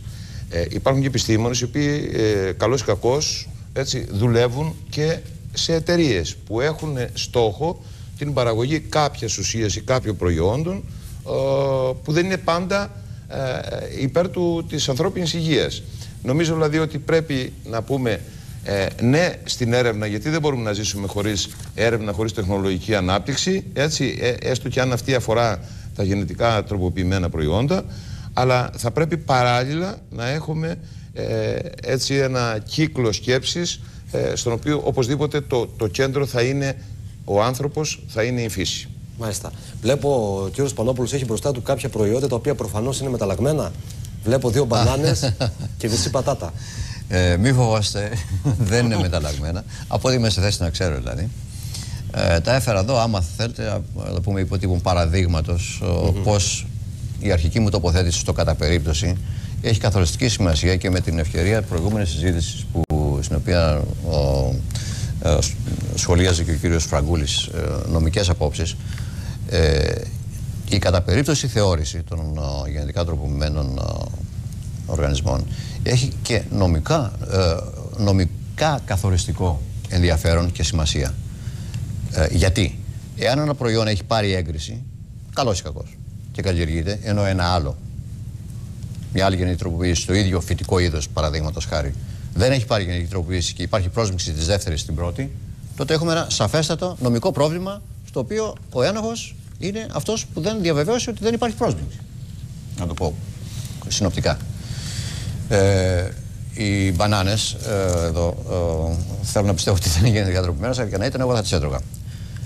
Ε, εξαρτωμένο όμως του τι γονίδιο τους είχαν βάλει μέσα. Αν τους είχαν βάλει ένα γονίδιο. Όταν είχα έρθει στο Πανεπιστήμιο, συγγνώμη που σας διακόπτω, ναι. μου είχατε πει ένα παράδειγμα ε, φυστικού το οποίο δημιουργήθηκε, το οποίο παρήχθη με, ε, με γονίδιο από άνθρωπο, με, χρο, με, με χρωμόσωμα νομίζω ανθρώπου, έτσι. Μου είχατε πει. Δεν το είχα πει εγώ. Σαν κάποιο παράδειγμα το οποίο ανα... είχε αναφέρει κάποιος φοιτητής. Αναφέρθηκα σε παράδειγμα που είχατε... είχε χρησιμοποιήσει ένας άλλος συνάδελφος. Δεν είναι εδώ απόψε. Ε, με αντισώματα παράδειγμα, ανθρώπου, νομίζω. Έτσι. Παράδειγμα που είχε χρησιμοποιήσει κάποιος άλλος συνάδελφος για να κάνει. Ε, ε, δεν θέλω να το πω με κακό απόϊχο. Ε, θα κατανοήσετε όμως θέλω να πω. Ε, διαρωτήθηκε η ανθρώπινα στο φιστίκι με ένα γονίδιο προέλευσης ανθρώπινης. Το οποίο γονίδιο τι, τι ακριβώς θα ήταν. Α, δεν διευκρίνησε. Εγώ αντισώματα από τον άνθρωπο, έτσι. Εγώ έχω την υπόθεσή μου τι μπορεί να ήταν και ξέρω ότι δεν είναι εγκεκριμένο για κυκλοφορία στην αγορά. Μα δεν υπήρχε. Εντάξει, ήταν θεωρητική η τοποθέτηση. Αλλά σημασία έχει το πόσο όταν φτάνουμε στα άκρα της πληροφόρησης καταλήγουμε αναγκαστικά στην πάρα πληροφόρησης. Σας είχε πει συγκεκριμένα τι, σας είχε πει. Όχι, ότι... δεν μου είχε πει εμένα. Τον άκουσα να το λέει. Είχε διερωτηθεί ότι. Εάν, είναι ανθρωπο... εάν τώρα έγινε ανθρωποφάγος. Αν είναι ανθρωποφάγος ή όχι, επειδή έφαγε ένα φιστίκι με ένα γονίδιο προέλευση του ανθρώπου μέσα. Δεν ήμουν παρόν στη συζήτηση. Η απάντησή του ήταν ότι βεβαίως είμαι. Και εγώ κάθε μωρό που με το γάλα της μαμάς του τρώει και μερικά κύτταρα από το στήθος της είναι ανθρωποφάγος, κανίβαλος. Ε, ε, δεν ξέρω δηλαδή πώς να το θεωρήσουμε. Συγγνώμη δηλαδή. Εδώ είναι τα άκρα της ανθρώπινης μορφή. Κύριε καθηγητά, παίρνουμε όμως το DNA. Να πω και κάτι άλλο. Παρακαλώ. Ε, έκοψα το δάχτυλό μου. Βγήκε λίγο αίμα. Το ρούφεξα και το ήπια. Έφαγα τα δικά μου αιματοκύτταρα, ερυθροκύτταρα. Έχει νόημα να θέτουμε ερωτήματα αν είμαστε ανθρωποφάγοι σε αυτές τις περιπτώσεις. Αυτό όμως είναι διαφορετικό και διαφορετικό Συγγνώμη, είναι. Έχω μεγάλο πρόβλημα ε, με αρκετούς συναδέλφου που πάνε σε κάποια διαλογικά άκρα για να κάνουν μια τοποθέτηση η οποία στην πράξη δεν έχει καμία σημασία. Ξέρετε όμως, είναι τελείως διαφορετικό αυτό που λέμε τώρα και τελείως διαφορετικό το να πάρει ο ερευνητής, ε, ο επιστήμονας, το, το, το DNA ενός αρουραίου για παράδειγμα, ε, να το πάρει στο εργαστήριό του, να το επεξεργαστεί, να το συνδυάσει με το DNA ας πούμε ενός μαρουλιού έτσι, αμέσως έχουμε μια αντίδραση στον οργανισμό του μαρουλιού γιατί εισήχθη σε αυτόν ε, το, το DNA ε, ενός ζωικού οργανισμού. Αμέσως όμως αυτό το προϊόν το οποίο, το οποίο, ε, το οποίο παρήχθη ε, μπαίνει μέσα σε ένα τρίτο οργανισμό που είναι ο άνθρωπος. Επομένως, αυτομάτως δεν μπορούμε να ξέρουμε ποιες θα είναι οι επιπτώσεις και Ωραία. ποιες θα είναι Να οι σας- αντιδράσεις που θα έχει ο ανθρώπινος οργανισμός πρέπει από να δύο άλλους συζητήσουμε. οργανισμού, οι Ωραία. οποίοι Επιτρέψτε ήδη μου- μεταξύ τους έχουν προκαλέσει μια. Επιτρέψτε μου να κάνω δύο ανομαλία, σχόλια. ενδεχομένως. Επι- Έτσι επιτρέψτε λένε οι μου- πολέμοι των Επιτρέψτε μου να γενετικά κάνω δύο τροποποιημένων σχόλια. οργανισμών. Συγγνώμη που ξέρω. Παρακαλώ. Ε, πρέπει να κάνω δύο σχόλια σε αυτό το, το θέμα. Ε, για ποιο λόγο να πάρουμε ένα γονίδιο από ποντικό; Νομίζω αυτό έχει γίνει από τη Μονσάντο, έτσι. Όχι. Εγώ δεν, δεν είμαι σε θέση να ξέρω Έχει αν έχει γίνει από τη παραχθεί Μονσάντο. λάχανο Είμαι με σε θέση γονίδιο όμως να αγουρέλου. ξέρω α, ότι κανένα φυτικό προϊόν δεν έχει κανένα γονίδιο κανενός ποντικού που να έχει πάρει έγκριση από πουθενά. Από πού το ακούσατε αυτό; Δεν πήρε έγκριση. Συγγνώμη στο κύριε συγκεκριμένο. Παπαδάκη. Υπήρξε μια ανακοίνωση από την Greenpeace που. Μα υπάρχει, υπάρχουν αρμόδιες αρχές σε κάθε κράτος που σέβεται τον εαυτό του. Αυτές οι αρμόδιες αρχές έχουν ένα πολύ ψηλό κόσκινο και αξιολογούν τους Το πήρε φακέλους που πίσω κατατίθεται, τελικά οι αυτό οποίοι το είναι προϊόν. Μερικά κιλά. Βεβαίως. Βάρος σε χαρτί, εντάξει. Αυτό το προϊόν τελικά το πήρε πίσω η Μονσάντο. Όμως προσπάθησε. Επομένως δεν εγκρίθηκε και να δεν το πήγε σε προωθήσει. καμία τροφική αλυσίδα. Εντάξει. Δεν υπάρχουν λοιπόν προϊόντα που έχουν ε, γονίδιο από, από ποντικό ή από. Εγώ δεν ξέρω κανένα τέτοιο προϊόν που να έχει πάρει έγκριση πουθενά για κατανάλωση. Αν υπάρχει και είναι εργαστηριακό. Εργαστηριακά υλικό, έστω. Είναι Εργαστηριακά εντελώς έστω. άλλο θέμα. Μπορούμε να το συζητήσουμε σαν εργαστηρική έρευνα- έρευνα. Και δεν αμφιβάλλω ότι ως τέτοια υπάρχει. Εντάξει. Όχι όμως σαν τρόφιμο. Για να μην φοβηθεί και ο κόσμος. Εντάξει. Το δεύτερο. Α πούμε ότι το γονίδιο δεν πρόκειται, δεν πρόκειται από ποντικό που έχει τους δικούς του απόϊχους, ας πούμε, σαν ζώο με το οποίο έχουμε μια οικειότητα. πρόκειται από κάποιο άλλο φυτό. Ε, και το βάλαμε σε ένα φυτό, ας πούμε, γονίδιο πατάτας σε ντομάτα ή αντιστρόφως. Εντάξει, γιατί να κάνουμε ένα τέτοιο πείραμα, θα μου πείτε. Γιατί η πατάτα είναι ανθεκτική στα περισσότερα παθογόνα παραδείγματος χάρη της ντομάτας και αντιστρόφως. Πώς είναι ανθεκτική, Έχει κάποια γονίδια που την κάνουν ανθεκτική. Ε, τα υποκλέπτουμε αυτά τα γονίδια, γιατί δεν μπορούμε να διασταυρώσουμε πατάτα με ντομάτα, με φυσιο- με την παραδοσιακή γενετική, και τα βάζουμε από το ένα φυτό στο άλλο. Και για αυτό να κάνουμε το ένα είναι ανθεκτικό στα καταλαβαίνω, παθογόνα του άλλου. Αυτό γίνεται ευρέως, έτσι. Όχι, Απλά ο συγγνώμη, κόσμος... ερευνη- ερευνητικά βεβαίως γίνεται. Ε, ε, πρακτικά, εγκεκριμένα προϊόντα δεν έχουμε ακόμα τέτοιου είδους. Εντάξει. Τα λεγόμενα Ερευνητικά όμως- υβρίδια στα κυπευτικά δεν είναι κάπως έτσι φτιαγμένα; συγχωρείτε. Τα υβρίδια στα κυπευτικά. Όχι, τα υβρίδια, τα υβρίδια είναι φτιαγμένα με, άλλο τρόπο. διασταυρώσεις εννοώ μεταξύ φυτικών οργανισμών. Είναι, είναι μια, με, με παραδοσιακή διασταύρωση. Όχι με γενετική τροποποίηση. Εγώ αναφερόμουν σε δυνατότητα εφαρμογής της γενετικής τροποποίησης. Γιατί; Γιατί την πατάτα με την ντομάτα δεν μπορώ να τις διασταυρώσω. Εντάξει. Αν είναι μια ποικιλία άγριας πατάτας με μια mm-hmm. ήμερης πατάτας, κάνω τη διασταύρωση και κάνω τις επιλογές μου σαν καλός γενετιστής και φτιάχνω νέες ποικιλίες. Εντάξει. Λοιπόν, ε, έχετε διερωτηθεί ποτέ αν λοιπόν ένα φυτικό προϊόν το οποίο το βάλουμε στο πιάτο μας και το τρώμε έχει τα δικά του γονίδια. Πόσα γονίδια έχει ένας ανώτερος οργανισμός, τα ε, ζώα ή φυτά που τρώμε, έχει μερικές δεκάδες χιλιάδες. Δεν τα ξέρουμε ακριβώς. Εντάξει. Πόσα, ε, πόσο μήκος DNA έχει αυτό το, όλα τα χρωμοσώματα ενός οργανισμού; Χιλιόμετρα. Ξέρετε πόσα είναι; Ε, κάτι φυσικοί το υπολόγισαν, όχι εγώ. και μου έκανε μεγάλη εντύπωση. Γι' αυτό το φέρω εδώ πέρα για συζήτηση και όχι για να κάνω το έξυπνο. 155.000 χιλιόμετρα. Μήκος DNA τρώμε κάθε μέρα, κάθε φορά που τρώμε σαλάτα.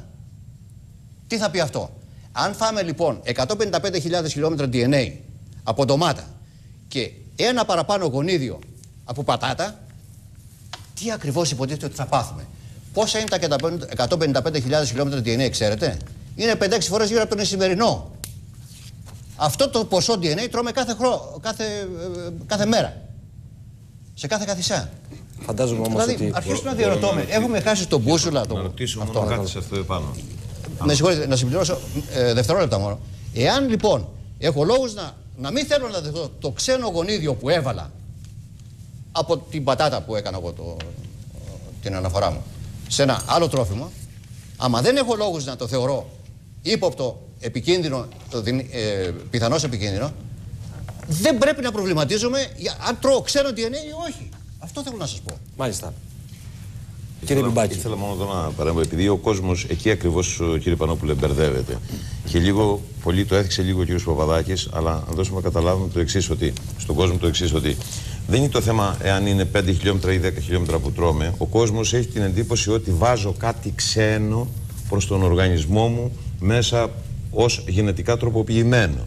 Και έρχεται ε, λίγο συνειρμικά σε μένα τουλάχιστον σαν πνευμονολόγος που ασχολήθηκα πολύ και με την αλλεργιολογία να πω το εξής. Ο οργανισμός είναι συνηθισμένος σε εκατομμύρια ουσίες που κυκλοφορούν στο, στην ατμόσφαιρα ή στο τραπέζι μας ή στο χώρο δουλειάς.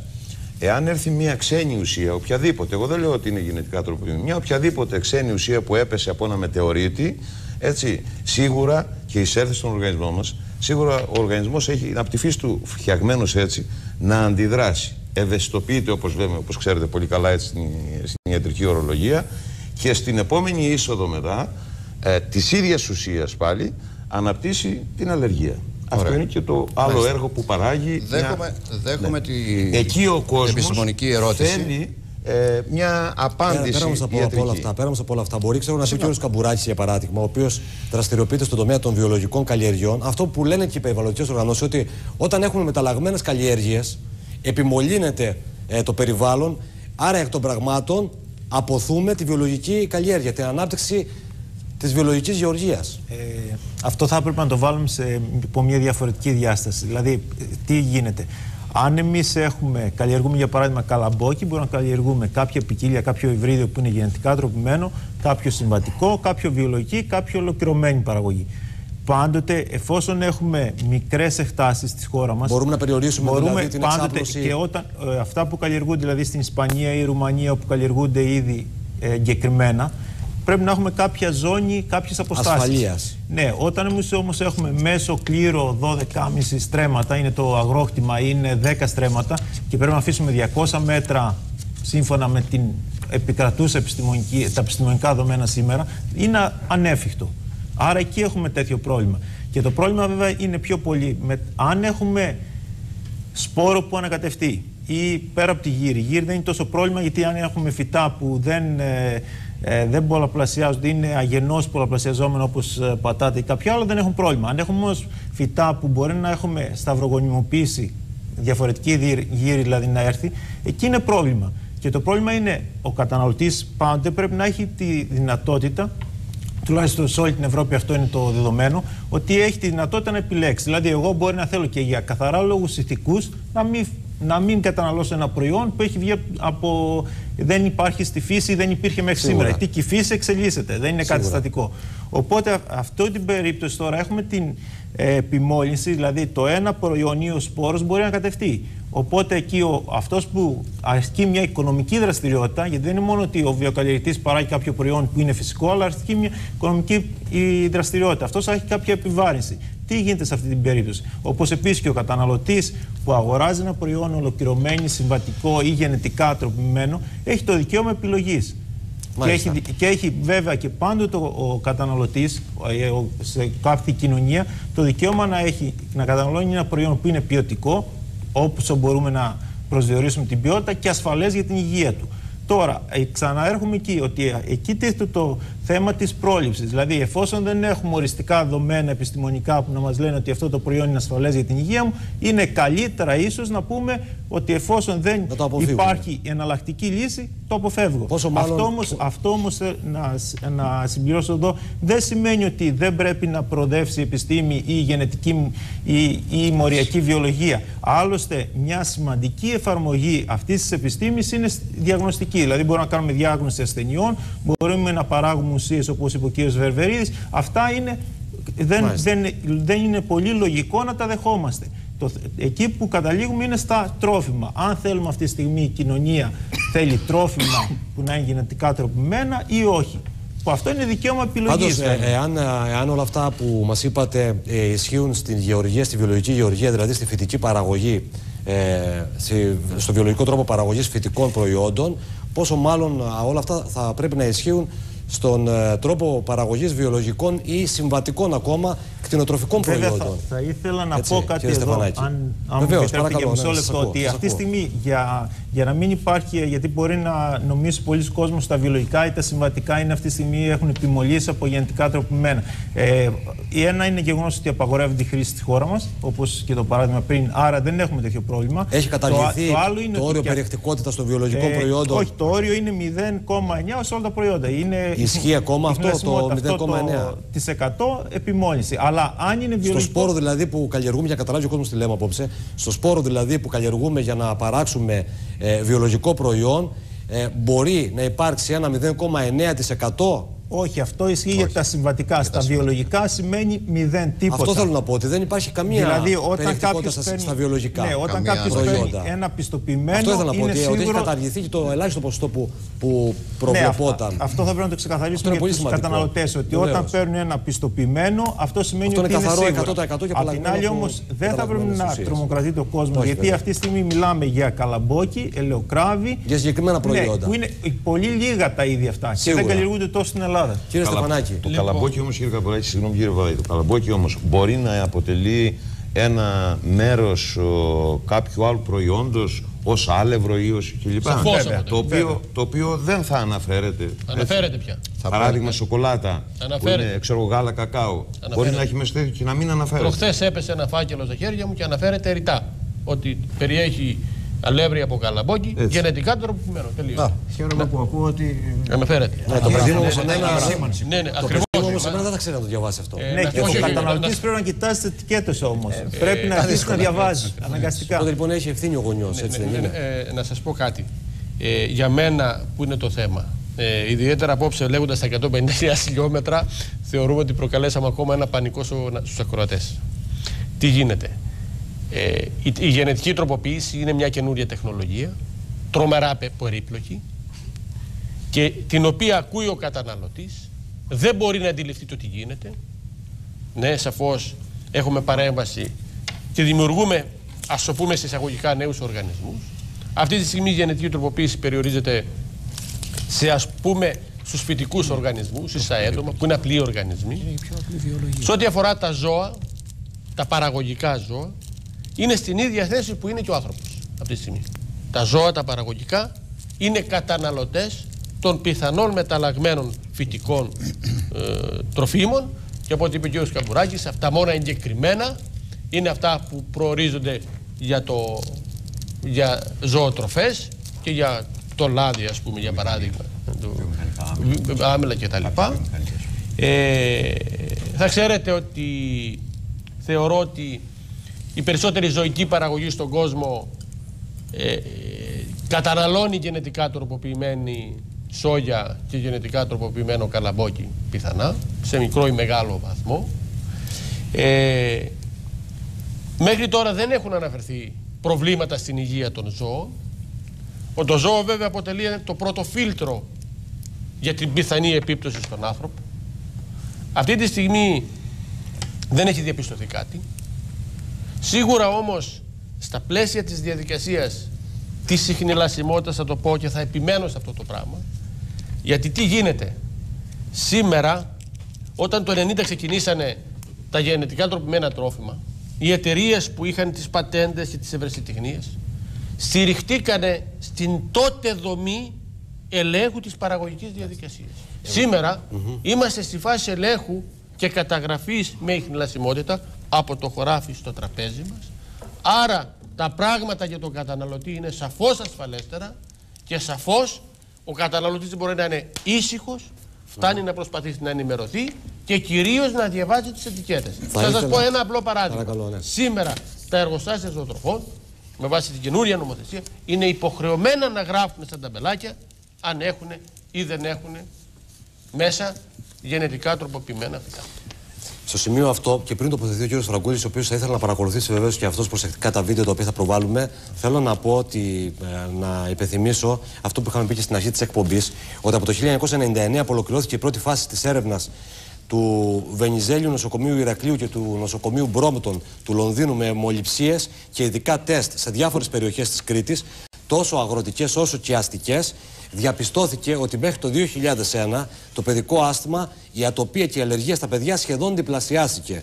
Το ρεπορτάζ που θα παρακολουθήσετε περιλαμβάνει ενδιαφέροντα στοιχεία και αποσπάσματα από βίντεο που τραβήχτηκε στην Κρήτη για τις ανάγκες της επιστημονικής έρευνας και θέλω να ευχαριστήσω βεβαίως τον γιατρό πνευμονολόγο και διευθυντή του Αντιφυματικού Κέντρου του Βενιζέλιου Νοσοκομείου Ηρακλείου, τον κύριο Γιάννη Μπιμπάκη, που μας εμπιστεύτηκε το υλικό αυτό ε, για την ενημέρωση της κοινής γνώμης. Πάμε να το δούμε.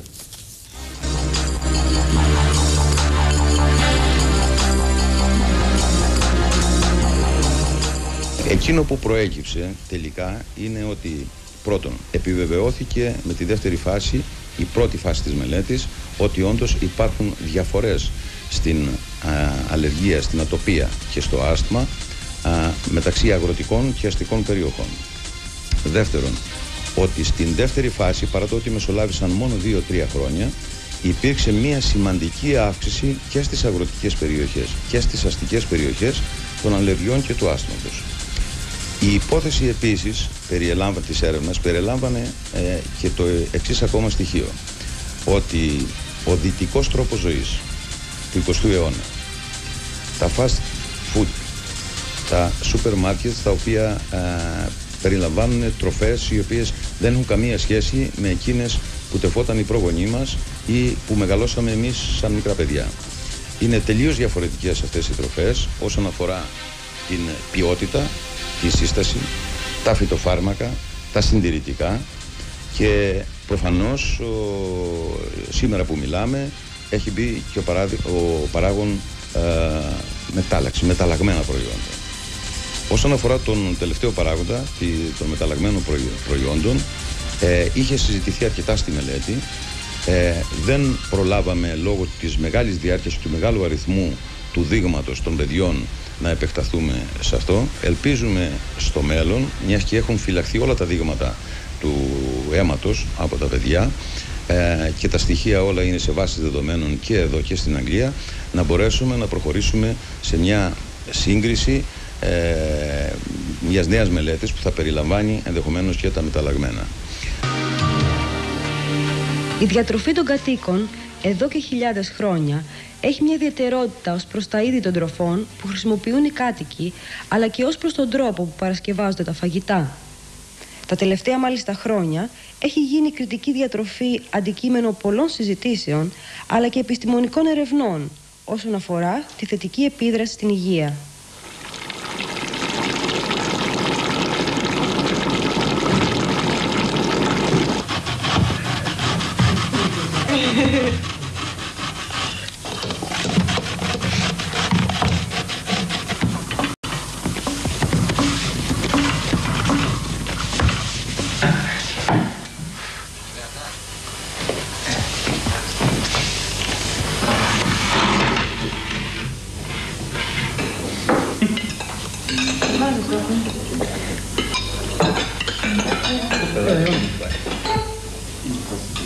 Τελευταία χρόνια η επιστημονική ομάδα του Royal Brompton and Hertford Hospital, National Heart and Lung Institute του Λονδίνου, με υπεύθυνο τον καθηγητή πνευμονολογίας Anthony Newman Taylor, έχει πραγματοποιήσει σειρά ερευνητικών προγραμμάτων με στόχο τη συλλογή, επεξεργασία, διερεύνηση και μελέτη νέων στοιχείων που θα φανούν χρήσιμα στην καταπολέμηση αλλά και στην πρόληψη ασθενειών.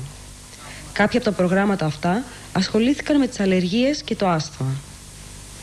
Το 1998 η επιστημονική ομάδα του Royal Brompton Hospital σε συνεργασία με τον πνευμονολόγο κύριο Γιάννη Μπιμπάκη, τη βιοπαθολόγο κυρία Βασιλική Λιάκου και την επιστημονική ομάδα του Βενιζέλου Νοσοκομείου Ηρακλείου πραγματοποίησαν την πρώτη μεγάλη επιδημιολογική μελέτη στην Κρήτη για το άσθμα και την αλλεργία. Παρόμοιες επιδημιολογικές μελέτες πραγματοποιούνται χρόνια και σε άλλες ευρωπαϊκές χώρες με σκοπό να εντοπιστούν και να μελετηθούν οι παράγοντες που ενδεχόμενα είναι υπεύθυνοι για την αυξητική τάση του άσθματος και των αλλεργικών παθήσεων τα τελευταία χρόνια. Έγινε μία σύγκριση του αγροτικού πληθυσμού με τον αστικό πληθυσμό όσον αφορά το παιδικό άσθμα και τις αλλεργίες στις ηλικίες που προαναφέραμε. Αλφα μικροβιολογικό εργαστήριο του Βενιζέλιου Νοσοκομείου ε, στα πλαίσια της έρευνας που γίνεται στην Κρήτη για την ατοπία και το άσθμα ανέλαβε την υποχρέωση να αναλύσει ε, χίλια περίπου δείγματα αίματος παιδιών τόσο γυμνασίου όσο και λυκείου ε, σε περιοχή μέσα στο Ηράκλειο αλλά και σε μια αγροτική περιοχή του νομού μας. Τα δείγματα ελέγχθησαν με σκοπό να δούμε αν υπάρχει προδιάθεση αλλεργίας αλλά και αν τα παιδιά είχαν αντισώματα ενάντια στις συχνές λιγμόξεις της παιδικής ηλικίας. Um, we chose to work in Crete for two reasons really. One because we had... Δύο είναι οι λόγοι που επιλέξαμε να εργαστούμε στην Κρήτη. Ο πρώτος είναι επειδή έχουμε σπουδαίους συνεργάτες στο Βενιζέλιο και ο δεύτερος είναι επιστημονικός. Επειδή οι αλλεργίες στα παιδιά στην Κρήτη είναι πολύ διαφορετικές σε συχνότητα από ό,τι των παιδιών της Αγγλίας που εμείς εξετάζουμε και πολύ πιο συχνές. Όταν εξετάζουμε κάτι τέτοιο, είναι σημαντικό να ξεκινήσουμε από τη διαφορά. Περισσότερα αλλεργικά παιδιά στην Αγγλία, λιγότερα αλλεργικά παιδιά στην Κρήτη. Τα πρώτα αποτελέσματα που αφορούσαν χίλια παιδιά έδειξαν ότι η, η ατοπία, η αλλεργία και το άσθμα στις αγροτικές περιοχές ε, του κέντρου υγείας Χάρακα ήταν ε, το μισό σε ποσοστό όσον αφορά σε σχέση μάλλον με την πόλη του Ηρακλείου. Στην πόλη του Ηρακλείου πήραμε δειγματοληπτικά κάποια σχολεία, ε, γυμνάσια λύκεια και τα αποτελέσματα ήταν ε, διπλάσια σε ποσοστό η αλλεργία και το άσθημα από ό,τι στις αγροτικές περιοχές. Τα παιδιά των αγροτικών περιοχών, ακόμα και μετά τον διπλασιασμό των κρουσμάτων αυτών, παρέμειναν σε πολύ χαμηλότερα ποσοστά άσθματος, ατοπίας και αλλεργίας, λόγω της ανοσίας που τα προστατεύει, αφού η επαφή τους με διάφορους αλλεργιογόνους ε, παράγοντες ξεκινάει από τα πρώτα στάδια της ζωής τους. Found in the first study that we undertook Βρήκαμε στην πρώτη μελέτη ότι η συχνότητα αλλεργίας και άσθματος στην Κρήτη είναι κατά πολύ μικρότερη από ό,τι στη Μεγάλη Βρετανία και Βόρεια Ευρώπη. Πολύ συχνότερη επίσης είναι στο Ηράκλειο παρά στις αγροτικές περιοχές της Κρήτης. Είναι διευκρίνιστο γιατί να συμβαίνει αυτό. Αλλά ξέρουμε ότι υπάρχουν διατροφικές διαφορές, αλλά και διαφορές στην πιθανότητα επαφής με μικρόβια κατά τη νεαρή ηλικία.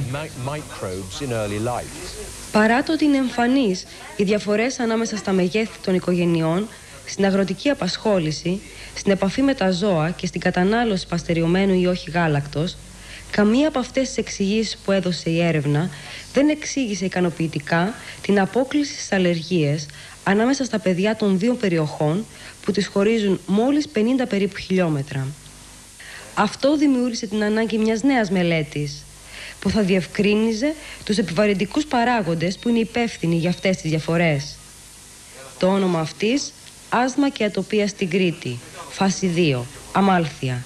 Η υπόθεση της έρευνας ε, έλεγε ότι τα παιδιά που ζουν στις αγροτικές περιοχές επειδή έχουν αφενός με μια πρώιμη επαφή με διάφορα αλλεργιογόνα όπως ζώα, τα πρόβατα της κατσίκες, ε, το χώμα και διάφορες άλλες ε, ουσίες δρούν προστατευτικά στον οργανισμό στη μετέπειτα ηλικία κατά τη διάρκεια της ανάπτυξης του, του οργανισμού. Η υπόθεση αυτή επιβεβαιώθηκε στην πρώτη φάση. Για να μην θεωρηθεί όμως τυχαίο το έβριμα, επεκταθήκαμε σε, σε μια δεύτερη φάση της ίδιας ακριβώς μελέτης με περισσότερα αλλεργιογόνα στις ίδιες ηλικίες, αλλά που κατέβηκαν ηλικίες χαμηλότερα και έπιασαν και παιδιά δημοτικών σχολείων. Είναι μια μεγάλη έρευνα. Μία από τις μεγαλύτερες στην Ευρώπη, όπου εξετάζονται περίπου 1.800 παιδιά. Υπάρχουν άλλες ομάδες σε άλλα σημεία της Ευρώπης που ασχολούνται με παρόμοιες μελέτες, αλλά αυτή είναι η μεγαλύτερη. Η περιοχή που επιλέχθηκε για τη διεξαγωγή του προγράμματος ήταν και πάλι η Κρήτη.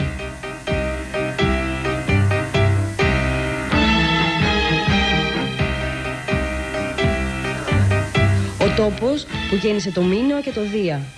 Άλλωστε, Αμάλθια ήταν το όνομα της ιερής Έγας, νύμφης, που κατά τη μυθολογία θύλαζε τον Δία όταν ήταν βρέφος.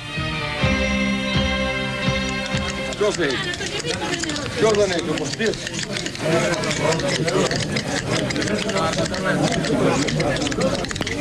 Το μεγαλύτερο ποσοστό των κατοίκων που ζουν στην περιφέρεια της Κρήτης ασχολούνται με τις γεωργικές καλλιέργειες και την κτηνοτροφία αυτό έχει σαν αποτέλεσμα τα περισσότερα παιδιά που μεγαλώνουν στα χωριά του νησιού να έρχονται άμεσα σε επαφή με τις γεωργικές καλλιέργειες, τα κατοικίδια ζώα και άλλα αλλεργιογόνα που βρίσκονται στο περιβάλλον.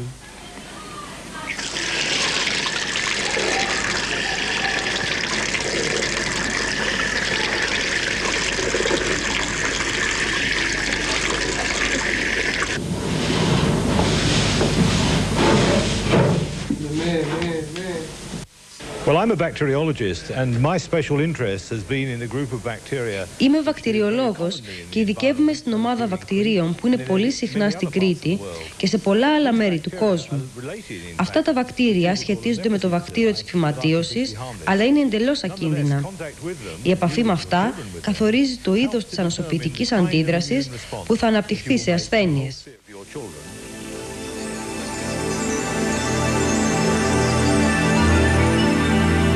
Η ερευνητική ομάδα υπέθεσε ότι τα ποσοστά ατοπίας και άσθματος θα ήταν σημαντικά υψηλότερα στα παιδιά ηλικίας 8 έως 18 ετών που ζουν σε αστικές περιοχές από ότι σε αυτά που ζουν σε αγροτικές και ότι αυτές οι διαφορές θα σχετίζονται σε παραλλαγές της έκθεσης, σε περιβαλλοντικούς παράγοντες κατά την πρώιμη παιδική ηλικία και ιδιαίτερα στην εκτροφή ζώων, στις παιδικές ασθένειες όπως είναι η ερυθρά, ο κοκκίτης και η λαρά, τη μικοβακτηριακή έκθεση, τον εμβολιασμό με BCG, τον τρόπο ζωής και τέλος τη διατροφή. Κύριε Φραγκούλη, έρχομαι σε εσάς. Θέλω να μου σχολιάσετε αυτό το εκπληκτικό πραγματικά βίντεο. Βεβαίως, κάποια αποσπάσματα προβάλαμε από το βίντεο αυτό, το οποίο είναι περίπου 35 λεπτών ε, η διάρκεια του. Ε, θα ήθελα να μου πείτε ε, αν ε, από όλα αυτά τα οποία παρακολουθήσατε, προβληματίζεστε διαπιστώνοντας ε, κι εσείς μέσα από τέτοια στοιχεία, μέσα από τέτοιες έρευνες, ότι όσο περνούν τα χρόνια, τα παιδιά μας ακόμα και στα χωριά τρέφονται όλο και περισσότερο με τις πλαστικές τροφές των δυ- δυτικοευρωπαίων. Ε, της Δυτικής Ευρώπης δηλαδή και, τον, ε, δυτικο- και με τον δυτικό τρόπο ε, διατροφής, μέσα από τον οποίο μπορεί να προκύπτει ε, και το πρόβλημα των μεταλλαγμένων. Είπαμε ότι αυτό α, δεν έχει ακόμα διαπιστωθεί στο βαθμό που θα έπρεπε. Όντως, κύριε Παπαδάκη, το βίντεο το οποίο προβάλλατε ήταν πολύ διαφωτιστικό. Ε, αυτό που κατάλαβα εγώ από το βίντεο είναι ότι δεν μιλάει ευθέως για τα γενετικά τροποποιημένα, τροποποιημένα προϊόντα. Αναφέρεται εδώ πέρα σαν παράδειγμα Ενοχοποιούνται ότι. όμως τα τρόφιμα αυτά. Πώς, πώς; Τα τρόφιμα όμως αυτά στα οποία α, αναφέρεται το βίντεο ενοχοποιούνται για το ενδεχόμενο περιεκτικότητας γενετικά τροποποιημένων οργανισμών. Αναφέρεται εδώ πέρα σαν Εμέσως, παράδειγμα, ναι. αναφέρεται σαν παράδειγμα το, το βίντεο, κύριε Παπαδάκη, ανέφερε σαν παράδειγμα το χωριό Προφήτης Ηλίας. Εξ όσο γνωρίζω, το, το χωριό Προφήτης Ηλίας είναι ένα ορεινό χωριό και ασχολείται κυρίως με την. Ε, ε, δεν άκουσα καλά. Έτσι Στο νομίζω ότι- Χάρακα έγινε αυτή η Στο έρευνα. Χάρακα. Και Λοιπόν, όχι μόνο στα Νόγια και σε άλλες Αυτά περιοχές, είναι. στο Αυτά, νομό Χανίων, αυτές, στο νομό αυτές είναι Νασιθίου. αγροτικές περιοχές. Είναι αγροτικές περιοχές οι οποίες καλλιεργούν σίγουρα ελιές ή αμπέλια σε άλλες περιοχές. Είναι ξεκάθαρο ότι αυτές οι περιοχές δεν έχουν τη λεγόμενη βιομηχανική μόλυση. Όπως και γενικότερα και ευτυχώς η Κρήτη δεν είναι μια βιομηχανική περιοχή, είναι μια κατεξοχήν αγροτική περιοχή. Αυτό πρέπει να τα συνδυάσουμε στο, δηλαδή το γεγονός ότι εδώ έχουμε λιγότερα ποσοστά άσματος και τις άλλες ασθένειες που ανέφεραν εκεί πέρα το βίντεο σας πρέπει να το συνδυάσουμε με τη μόλις του περιβάλλοντος. Και η μόλις του περιβάλλοντος δεν είναι μόνο στα προϊόντα μεταλλαγμένα ή δεν ξέρω τι άλλο είναι, αλλά είναι κυρίως η βιομηχανική ρήπαση. Από εκεί ξεκινάνε όλα και οι τερατογενέσεις οφείλονται κυρίως, αν όχι αποκλειστικά, στη βιομηχανική ρήπαση. Επαναλαμβάνω, η Κρήτη, κατ' ευτυχή συγκυρία, δεν είναι βιομηχανική περιοχή, είναι κατεξοχήν αγροτική περιοχή και εκεί αποδίδω το ότι υπάρχουν τα λιγότερα ποσοστά για τις ασθένειες τις οποίες ανέφερε το ε, βίντεο σας. Ε, θα, θε- θα ήθελα εδώ πέρα να σας αναφέρω μια, ένα ντοκουμέντο το οποίο το βρήκα στο site του NGR για δύο μεγάλες χώρες που αφορά τα μεταλλαγμένα προϊόντα. Και θα επαναδιατυπώσω, θα επαναδιατυπώσω την απορία την οποία είχα διατυπώσει στην προηγούμενη εκπομπή. Δεν μπορώ να διανοηθώ ότι οι χώρες, οι κυβερνήτες χωρών που επιτρέπουν τα μεταλλαγμένα προϊόντα, ότι το κάνουν σκόπιμα και θέλουν να δηλητηριάζουν τους κατοίκους τους. Δεν μπορώ να διανοηθώ ότι η ελληνική κυβέρνηση, οποιαδήποτε κυβέρνηση, συμμετέχει σε μια μεγάλη ένωση όπως είναι η ΟΚ, ξέρει, αν υποθέσουμε ότι είναι αλήθεια ότι τα μεταλλαγμένα προϊόντα προκαλούν προβλήματα υγείας, ξέροντας λοιπόν αυτά τα πράγματα, θέλει να μολύνει τους κατοίκους της. Σε αυτή την περίπτωση θα μιλάγαμε για, εγκληματικούς, για εγκληματίες πολιτικούς, οι οποίοι μας βάζουν σε μια εγκληματική οργάνωση. Θέλω λοιπόν να σας αναφέρω αυτό που βρήκα με δύο λέξεις στο site του NGR για δύο χώρες και αναφέρομαι στην Κίνα και στην Ινδία. Η μια μάλιστα εξ αυτών αυτοαποκαλείται και κομμουνιστική, όπως γνωρίζουμε. Λέμε λοιπόν εδώ πέρα ότι οι δύο πολυπληθέστερες χώρες του κόσμου επενδύουν στην ανάπτυξη γενετικά τροποποιημένων φυτών για να καλύψουν τις ανάγκες των αυξανόμενων πληθυσμών τους. Τελεία, τελεία. Στην Κίνα η χρηματοδότηση για έρευνα στη γεωργική βιοτεχνολογία προέρχεται εξ ολοκλήρου από την κυβέρνηση. Από την κυβέρνηση. Και η χώρα είναι δεύτερη μετά τη ΣΥΠΑ στις ερευνητικές επενδύσεις. Η Κίνα επένδυσε 112 εκατομμύρια δολάρια στη βιοτεχνολογική έρευνα το 1999. Το ποσό αυτό θα αυξηθεί κατά 400% το 2005.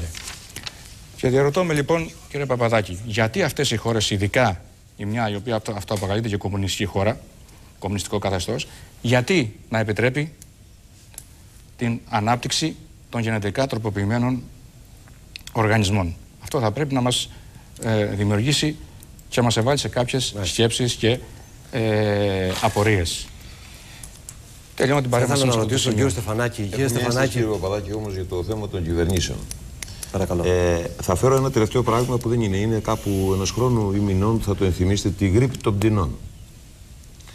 Δεν θα μπορούσε κανείς να διανοηθεί ότι ανώτατος αξιωματούχος... Και την των τρελών αγελάδων, γιατρέ. Ανώτατος αξιωματούχος της ε, Αμερικανικής κυβέρνησης ήταν πίσω από αυτή την ιστορία, αποδεδειγμένα με τις έρευνες πλέον, και ότι στόχος ποιος ήταν; Να προωθηθεί ένα και μόνο φάρμακο, το Tamiflu, το λέω ονομαστικά γιατί κυκλοφόρησε κατά κόρον τότε. Αμερικανικό φάρμακο. Έτσι. Όχι, ήταν του, του αντιπροέδρου της Αμερικανικής ναι, κυβέρνησης.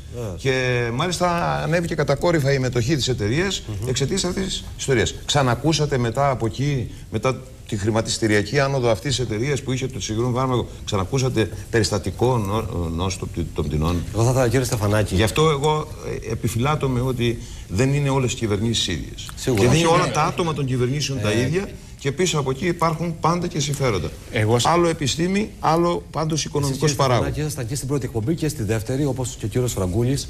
Ε, φαντάζομαι ότι το συμπέρασμα που βγαίνει και για εσάς είναι ότι θα πρέπει τόσο σοβαρά θέματα και εμείς οι δημοσιογράφοι να μην τα φοβόμαστε. Και όχι μόνο να τα ακουμπάμε, αλλά να διεισδύουμε βαθιά μέσα σε αυτά. Γιατί πραγματικά υπάρχει ενδιαφέρον, γιατί η κοινή γνώμη οφείλει και πρέπει και έχει κάθε δικαίωμα να γνωρίζει. Και νομίζω ότι τα συμπεράσματα που έχουν βγει από αυτές τις δύο ε, εκπομπές έχουν διαφωτίσει τον κόσμο. Εν μέρη βεβαίως, γιατί το, το θέμα αυτό είναι τεράστιο. Εδώ οι ίδιοι οι επιστήμονες δεν βρίσκουν μεταξύ τους. Αυτό φάνηκε και απόψε εξάλλου, έτσι. Σε κάποια επιμέρους ε, θέματα. Όμως φαντάζομαι ότι θα συμφωνήσετε κι εσείς μαζί μας ότι τα κάποια στοιχεία που έχουν βγει από τις δύο αυτές εκπομπές έχουν βοηθήσει ως προς την ε, ενημέρωση του κόσμου. Στην κατανόηση του θέματος και στην ευάθυνση θα μπορούσα να πω εγώ. Και, και εμεί υποσχόμαστε βεβαίως ότι το φάκελο μεταλλαγμένο θα το κρατήσουμε ανοιχτό. Ε, για οτιδήποτε καινούριο προκύπτει στην πορεία του χρόνου, εμείς εδώ θα είμαστε και θα το μεταδίδουμε. Ναι, εγώ νομίζω ότι πρέπει να επικεντρωθούμε σε δύο πράγματα. Ότι στην ουσία πρέπει μέσα σε αυτή τη καινούργια τεχνολογία να σταματήσει ο αντίλογος ανάμεσα στους δύο πολέμους που υπάρχουν τους οπαδούς της γενετικής τροποποίησης τους ε, αντίθετους και να αρχίσει ένας ουσιαστικός διάλογος για να ξεκαθαρίσουμε την ήρα από το στάρι για να προστατεύσουμε το περιβάλλον που πρέπει να είναι το κύριο σημείο. Δεν πρέπει να παραπλανηθούμε από το θέμα περιορίζοντας το θέμα στο θέμα της υγείας του ανθρώπου. Είναι το θέμα της υγείας του περιβάλλοντος και αν κάποια από αυτά ποιες πιθανές επιπτώσεις έχουν, αν έχουν. Και από εκεί και πέρα λοιπόν με βάση αυτό τον διάλογο να προχωρήσουμε και να αξιολογήσουμε την όλη κατάσταση ασφαλώς λαμβάνοντας υπόψη ένα για μένα πολύ ουσιαστικό θέμα ότι δυστυχώς για την ανθρωπότητα τα διπλώματα ευρεσιτεχνίας που έχουν κατοχυρωθεί στα μεταλλαγμένα των προϊόντα ανήκουν σε πολύ λίγες εταιρείες. Και αυτό για μένα είναι αρνητικό. Κύριε Καμπουράκη, θέλω μια τελευταία τοποθέτηση για να κλείσουμε την απόψηνή ενδιαφέρουσα εκπομπή μας. Αυτό το ταξίδι το οποίο ξεκινήσαμε, ε, το δύσκολο πραγματικά ταξίδι στον κόσμο των μεταλλαγμένων και βεβαίως ε, να πούμε από τώρα στον κόσμο ότι η επόμενη εκπομπή μας θα αφορά στα βιολογικά προϊόντα όπου επίσης θα θέλαμε να έχουμε την τιμή να είστε στο πάνελ της εκπομπής. Ναι, με ευχαρίστησή μου.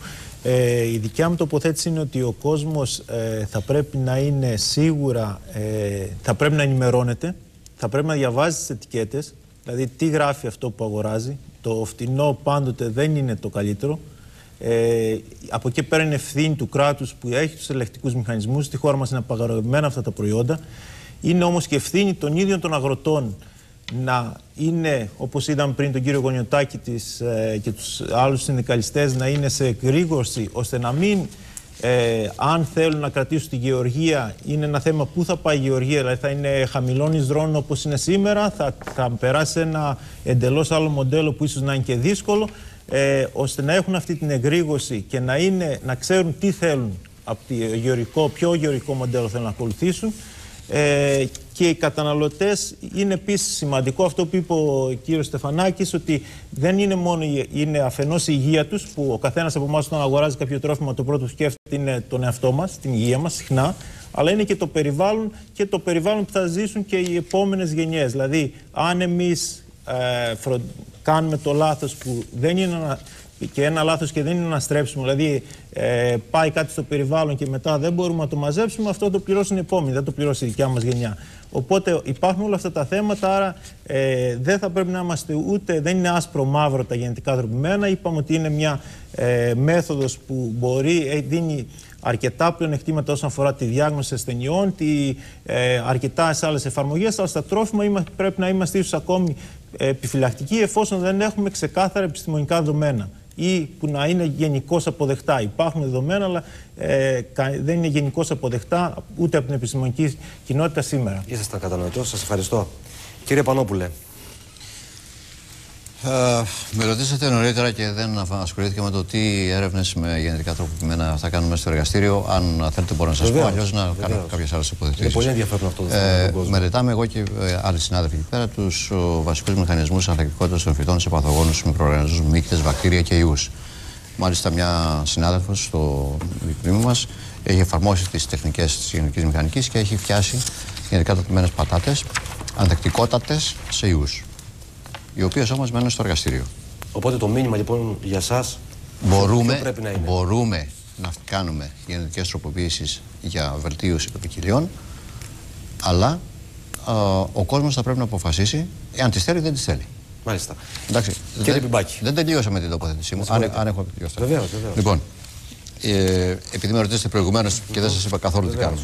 Ε, δύο πράγματα. Η Ευρωπαϊκή Ένωση έχει το αυστηρότερο στον κόσμο ο ρυθμιστικό πλαίσιο για την έγκριση, έλεγχο, προέγκριση και μετέπειτα έλεγχο των γενικά τροπημένων τροφίμων. Αυτό το ρυθμιστικό πλαίσιο οφείλει να εφαρμοστεί για να χτιστεί η εμπιστοσύνη που πρέπει να έχει σαν καταφύγιο ο καταναλωτής στους θεσμικούς του άρχοντες. Και τελευταίο, ε, υπάρχει μια μελέτη, την οποία δεν έχουμε τον καιρό να τη συζητήσουμε τώρα, σχετίζεται με την πρόβλεψη για το κόστος των ζωοτροφών τα επόμενα 3 με 5 χρόνια. Τρία σενάρια. Χαμηλού ρίσκου, μεσαίου ρίσκου και υψηλού ρίσκου. Να σας πω τι προβλέπουν αυτά τα σενάρια. Πού θα πάει το κόστος των ζωοτροφών λόγω των μεταλλαγμένων συστατικών που έχουν μπει στο εμπόριο και δεν έχουν εγκριθεί από την Ευρωπαϊκή Ένωση. Θα αναζητούμε μη μεταλλαγμένα. Τα οποία θα τα αναζητούν και άλλοι η προσφορά και η ζήτηση θα ενημορφώσουν την αγορά έτσι ώστε σύμφωνα με αυτή τη μελέτη οι τιμές των ζωοτροφών θα αυξηθούν μέχρι και 500%. Πόσο θέλετε να πληρώνετε το κρέας στο χασάπι, πρέπει να μας προβληματίσει και εσάς και εμάς. Γιατρέ. Το 2002, κύριε Παπαδάκη, η Βρετανική Εταιρεία Ιατρικής, που αποτελεί και επίσημο σύμβουλο του Εθνικού Συστήματος Υγείας της Βρετανίας, έβγαλε μια ανακοίνωση, έκανε μια έκθεση η οποία βασίστηκε και στο, ε, σε κάποιο άλλο Ινστιτούτο μη κρατικό της Βρετανίας και είπε ότι από τα γενετικά τροποποιημένα προϊόντα ε, δεν έχουμε ε, στοιχεία όσον αφορά την επίδραση του ανθρώπου. Αυτή μπορείτε να την αναζητήσετε, να τη βρείτε αυτή την έκθεση. Έτσι. Ο κίνδυνος είναι ελάχιστος, δεν είπε μηδενικός. Και μάλιστα είπε ότι θα πρέπει να προσέχουμε, ε, να ερευνούμε, να δούμε το θέμα των αλλεργιών στον άνθρωπο, αλλά σε πολύ προσεκτικά και σε ένα βάθος χρόνου. Θα πρέπει να δούμε την επίδραση στο περιβάλλον, θα πρέπει να δούμε ακόμα και ζητήματα ηθικής, αν μπορεί να το πει κανείς, δηλαδή της επίδρασης συνολικά στο ζωικό βασίλειο. Άρα, τα γενετικά τροπημένα προϊόντα, προσωπική άποψη, ίσως μπορούν να βοηθήσουν την ανθρωπότητα στο μέλλον σε σοβαρό βαθμό όσον αφορά ε, την, ε, την ιατρική. Όσον αφορά σε άλλες παραμέτρους, όπως έδεσε ο κ. Βερβερίδης, στο φυτικό βασίλειο για την προστασία ασθενειών κλπ. ή παραγωγή άλλων ουσιών που θα είναι χρήσιμε στον ανθρώπινο Στον οργανισμό. τομέα μας των τροφίμων, εσείς ε, τι λέτε; Στον τομέα των, των τροφίμων απαιτούνται έρευνες, απαιτούνται σοβαρές μελέτες. Που δεν υπάρχουν Απαιτούνται τώρα διαχρονικές. στο βαθμό που θα Μετά θέλαμε, από έτσι. χρόνια θα, μπορούς, θα μπορούσαμε να τεκμηριώσουμε αυτά που σήμερα Μάλιστα. πιθανολογούμε ότι μπορεί να συμβαίνουν. Ε, Επομένως, ε, ας είμαστε προσεκτικοί προς το παρόν και ας μην είμαστε τόσο, πιστεύω, προσωπική άποψη, ε, τόσο απλόχεροι, αφοριστικοί. ε, απλόχεροι, ε, ούτε αφοριστικοί, αλλά και έτσι ε, να εμπιστευόμαστε ε, ε, ε, ε, συμφέροντα που είναι πιθανό να είναι πίσω από αυτό. Υπάρχει μέση λύση αυτό που είπε και κάποιος πριν, ότι θα πρέπει να βρούμε το σωστό δρόμο να βαδίσουμε στο μέλλον, χωρίς όμως να βλάψουμε τον άνθρωπο. Κύριε Βερβερίδη, σας ακούμε. Ε, ναι, έχω δύο σχόλια ε, να κάνω σαν επίλογο αυτών που υπόθηκαν. Το πρώτο αφορά ε, ένα πολύ σημαντικό στοιχείο που ανέφερε ο κύριος Φραγκούλης και το πήρα από την ιστοσελίδα του INGR και έχει να κάνει με τη χρηματοδότηση της έρευνας. Πράγματι αυτό, κύριε Φραγκούλη, είναι, ε, αν θέλετε, από τα κυριότερα στοιχεία που μας κάνει να είμαστε, θα έλεγα, τόσο πίσω ίσως ή τόσο λιγότερο ανταγωνιστικοί σε σχέση με άλλες χώρες του ιδίου επίπεδου ανάπτυξης όπως και η χώρα μας. Άρα η έρευνα, πραγματικά η χρηματοδότηση της έρευνας θεωρώ ότι είναι ένα από τα πιο σημαντικά στοιχεία γιατί αυτό θα προάγει και τη γνώση. Το, επόμενο στοιχείο, το πρώτο ίσως, το, το επόμενο στοιχείο και κλείνω με αυτό είναι ότι ε, για να γίνει προσφυλής ε, προς τον καταναλωτή μια τέτοιου είδους σύγχρονη τεχνολογία όποιος και, όπως και οποιοδήποτε τεχνολογία θα πρέπει να αλλάξει ο τρόπος με τον οποίο μεταφέρουμε την αντίληψη, την τεχνολογία αυτή προς το μέσο πολίτη, συμπολίτη μας. Έτσι λοιπόν πράγματα που έχουν να κάνουν με τα γονίδια τα οποία μεταφέρουμε από το ποντίκι στην πατάτα ή στην ντομάτα ή δεν ξέρω τι, τα οποία είναι παντελώς ασταθή και μάλιστα γίνονται και από συναδέλφους του χώρου, ε, θεωρώ ότι αυτά είναι στοιχεία τα οποία άμεσα θα πρέπει να εκλείψουν. Δηλαδή, όποιος έχει στοιχεία θα πρέπει να μιλάει με τα στοιχεία αυτά και όπως ανέφερε και ο κύριος Πανόπουλος, εξετάζουμε κάθε φορά την περίπτωση. Όχι γενίκευση, γιατί προφανώς τίποτα δεν μπορεί να ισχύει. Και ε, εδώ θέλω να κλείσω λέγοντας ότι αυτό που είπατε προηγουμένως, ότι ευρέως ακόμα και στα εργα... ερευνητικά εργαστήρια δεν υπάρχει ε, γενετική τροποποίηση πατάτας με γονι... ε, ή ντομάτας με γονίδια πατάτας ή το ανάποδο ή ποντικού ή οποιο... οποιοδήποτε άλλου ζωικού οργανισμού. Έτσι. Α, οποιαδήποτε τέτοιου είδους ε, δημιουργία γενετικά τροποποιημένου οργανισμού γίνεται, υπάρχει ένας συγκεκριμένος στόχος. Και νομίζω ότι αυτό είναι εκείνο το οποίο θα πρέπει να προβάλλεται και όχι το αν προέρχεται από καρχαρία ή από αυτό που ούτως ή άλλως δεν γίνεται. Έτσι, αυτό θέλω να Θέλετε να πείτε κάτι, κύριε Φραγκούλη. Α, πολύ σύντομα. Θα ήθελα να κλείσω με. Έχουμε ξεπεράσει κατά πολύ το Με χρόνο. πέντε γραμμές, κύριε Παπαδάκη, με πέντε γραμμές θα ήθελα να κλείσω την απόψηνή μας εκπομπή, τουλάχιστον όσον αφορά εμένα. Ε, το οποίο έχει Θα σχέση τα λέμε βεβαίω. συχνά, κύριε Φραγκούλη. Θα τα λέμε συχνά. Θα τα λέμε συχνά. Το οποίο έχει σχέση βεβαίως με τα εντός εισαγωγικών επάρατα μονοπόλια τα οποία κοιτάζουν μόνο το κέρδος τους και δεν ενδιαφέρονται καθόλου για την ανθρώπινη υγεία. Θα αναφερθώ λοιπόν σε μια σκέψη ενός μεγάλου φιλόσοφου του 18ου αιώνα που είχε γράψει ένα αρθρίδιο με τον τίτλο «Για το κύρος». Είναι πέντε γραμμές, διαβάζω και κλείνω. Αν ο άνθρωπος υπόταξε τις δυνάμεις της φύσης με τη βοήθεια της επιστήμης και της εφευρετικής μεγαλοφυΐας, όμως και αυτές εκδικούνται υποβάλλοντάς τον στο βαθμό που τις υποτάσσει στην υπηρεσία του, σε ένα αληθινό δεσποτισμό που είναι ανεξάρτητος από κάθε κοινωνική οργάνωση. Το τονίζω αυτό. Ανεξάρτητος από κάθε κοινωνική οργάνωση.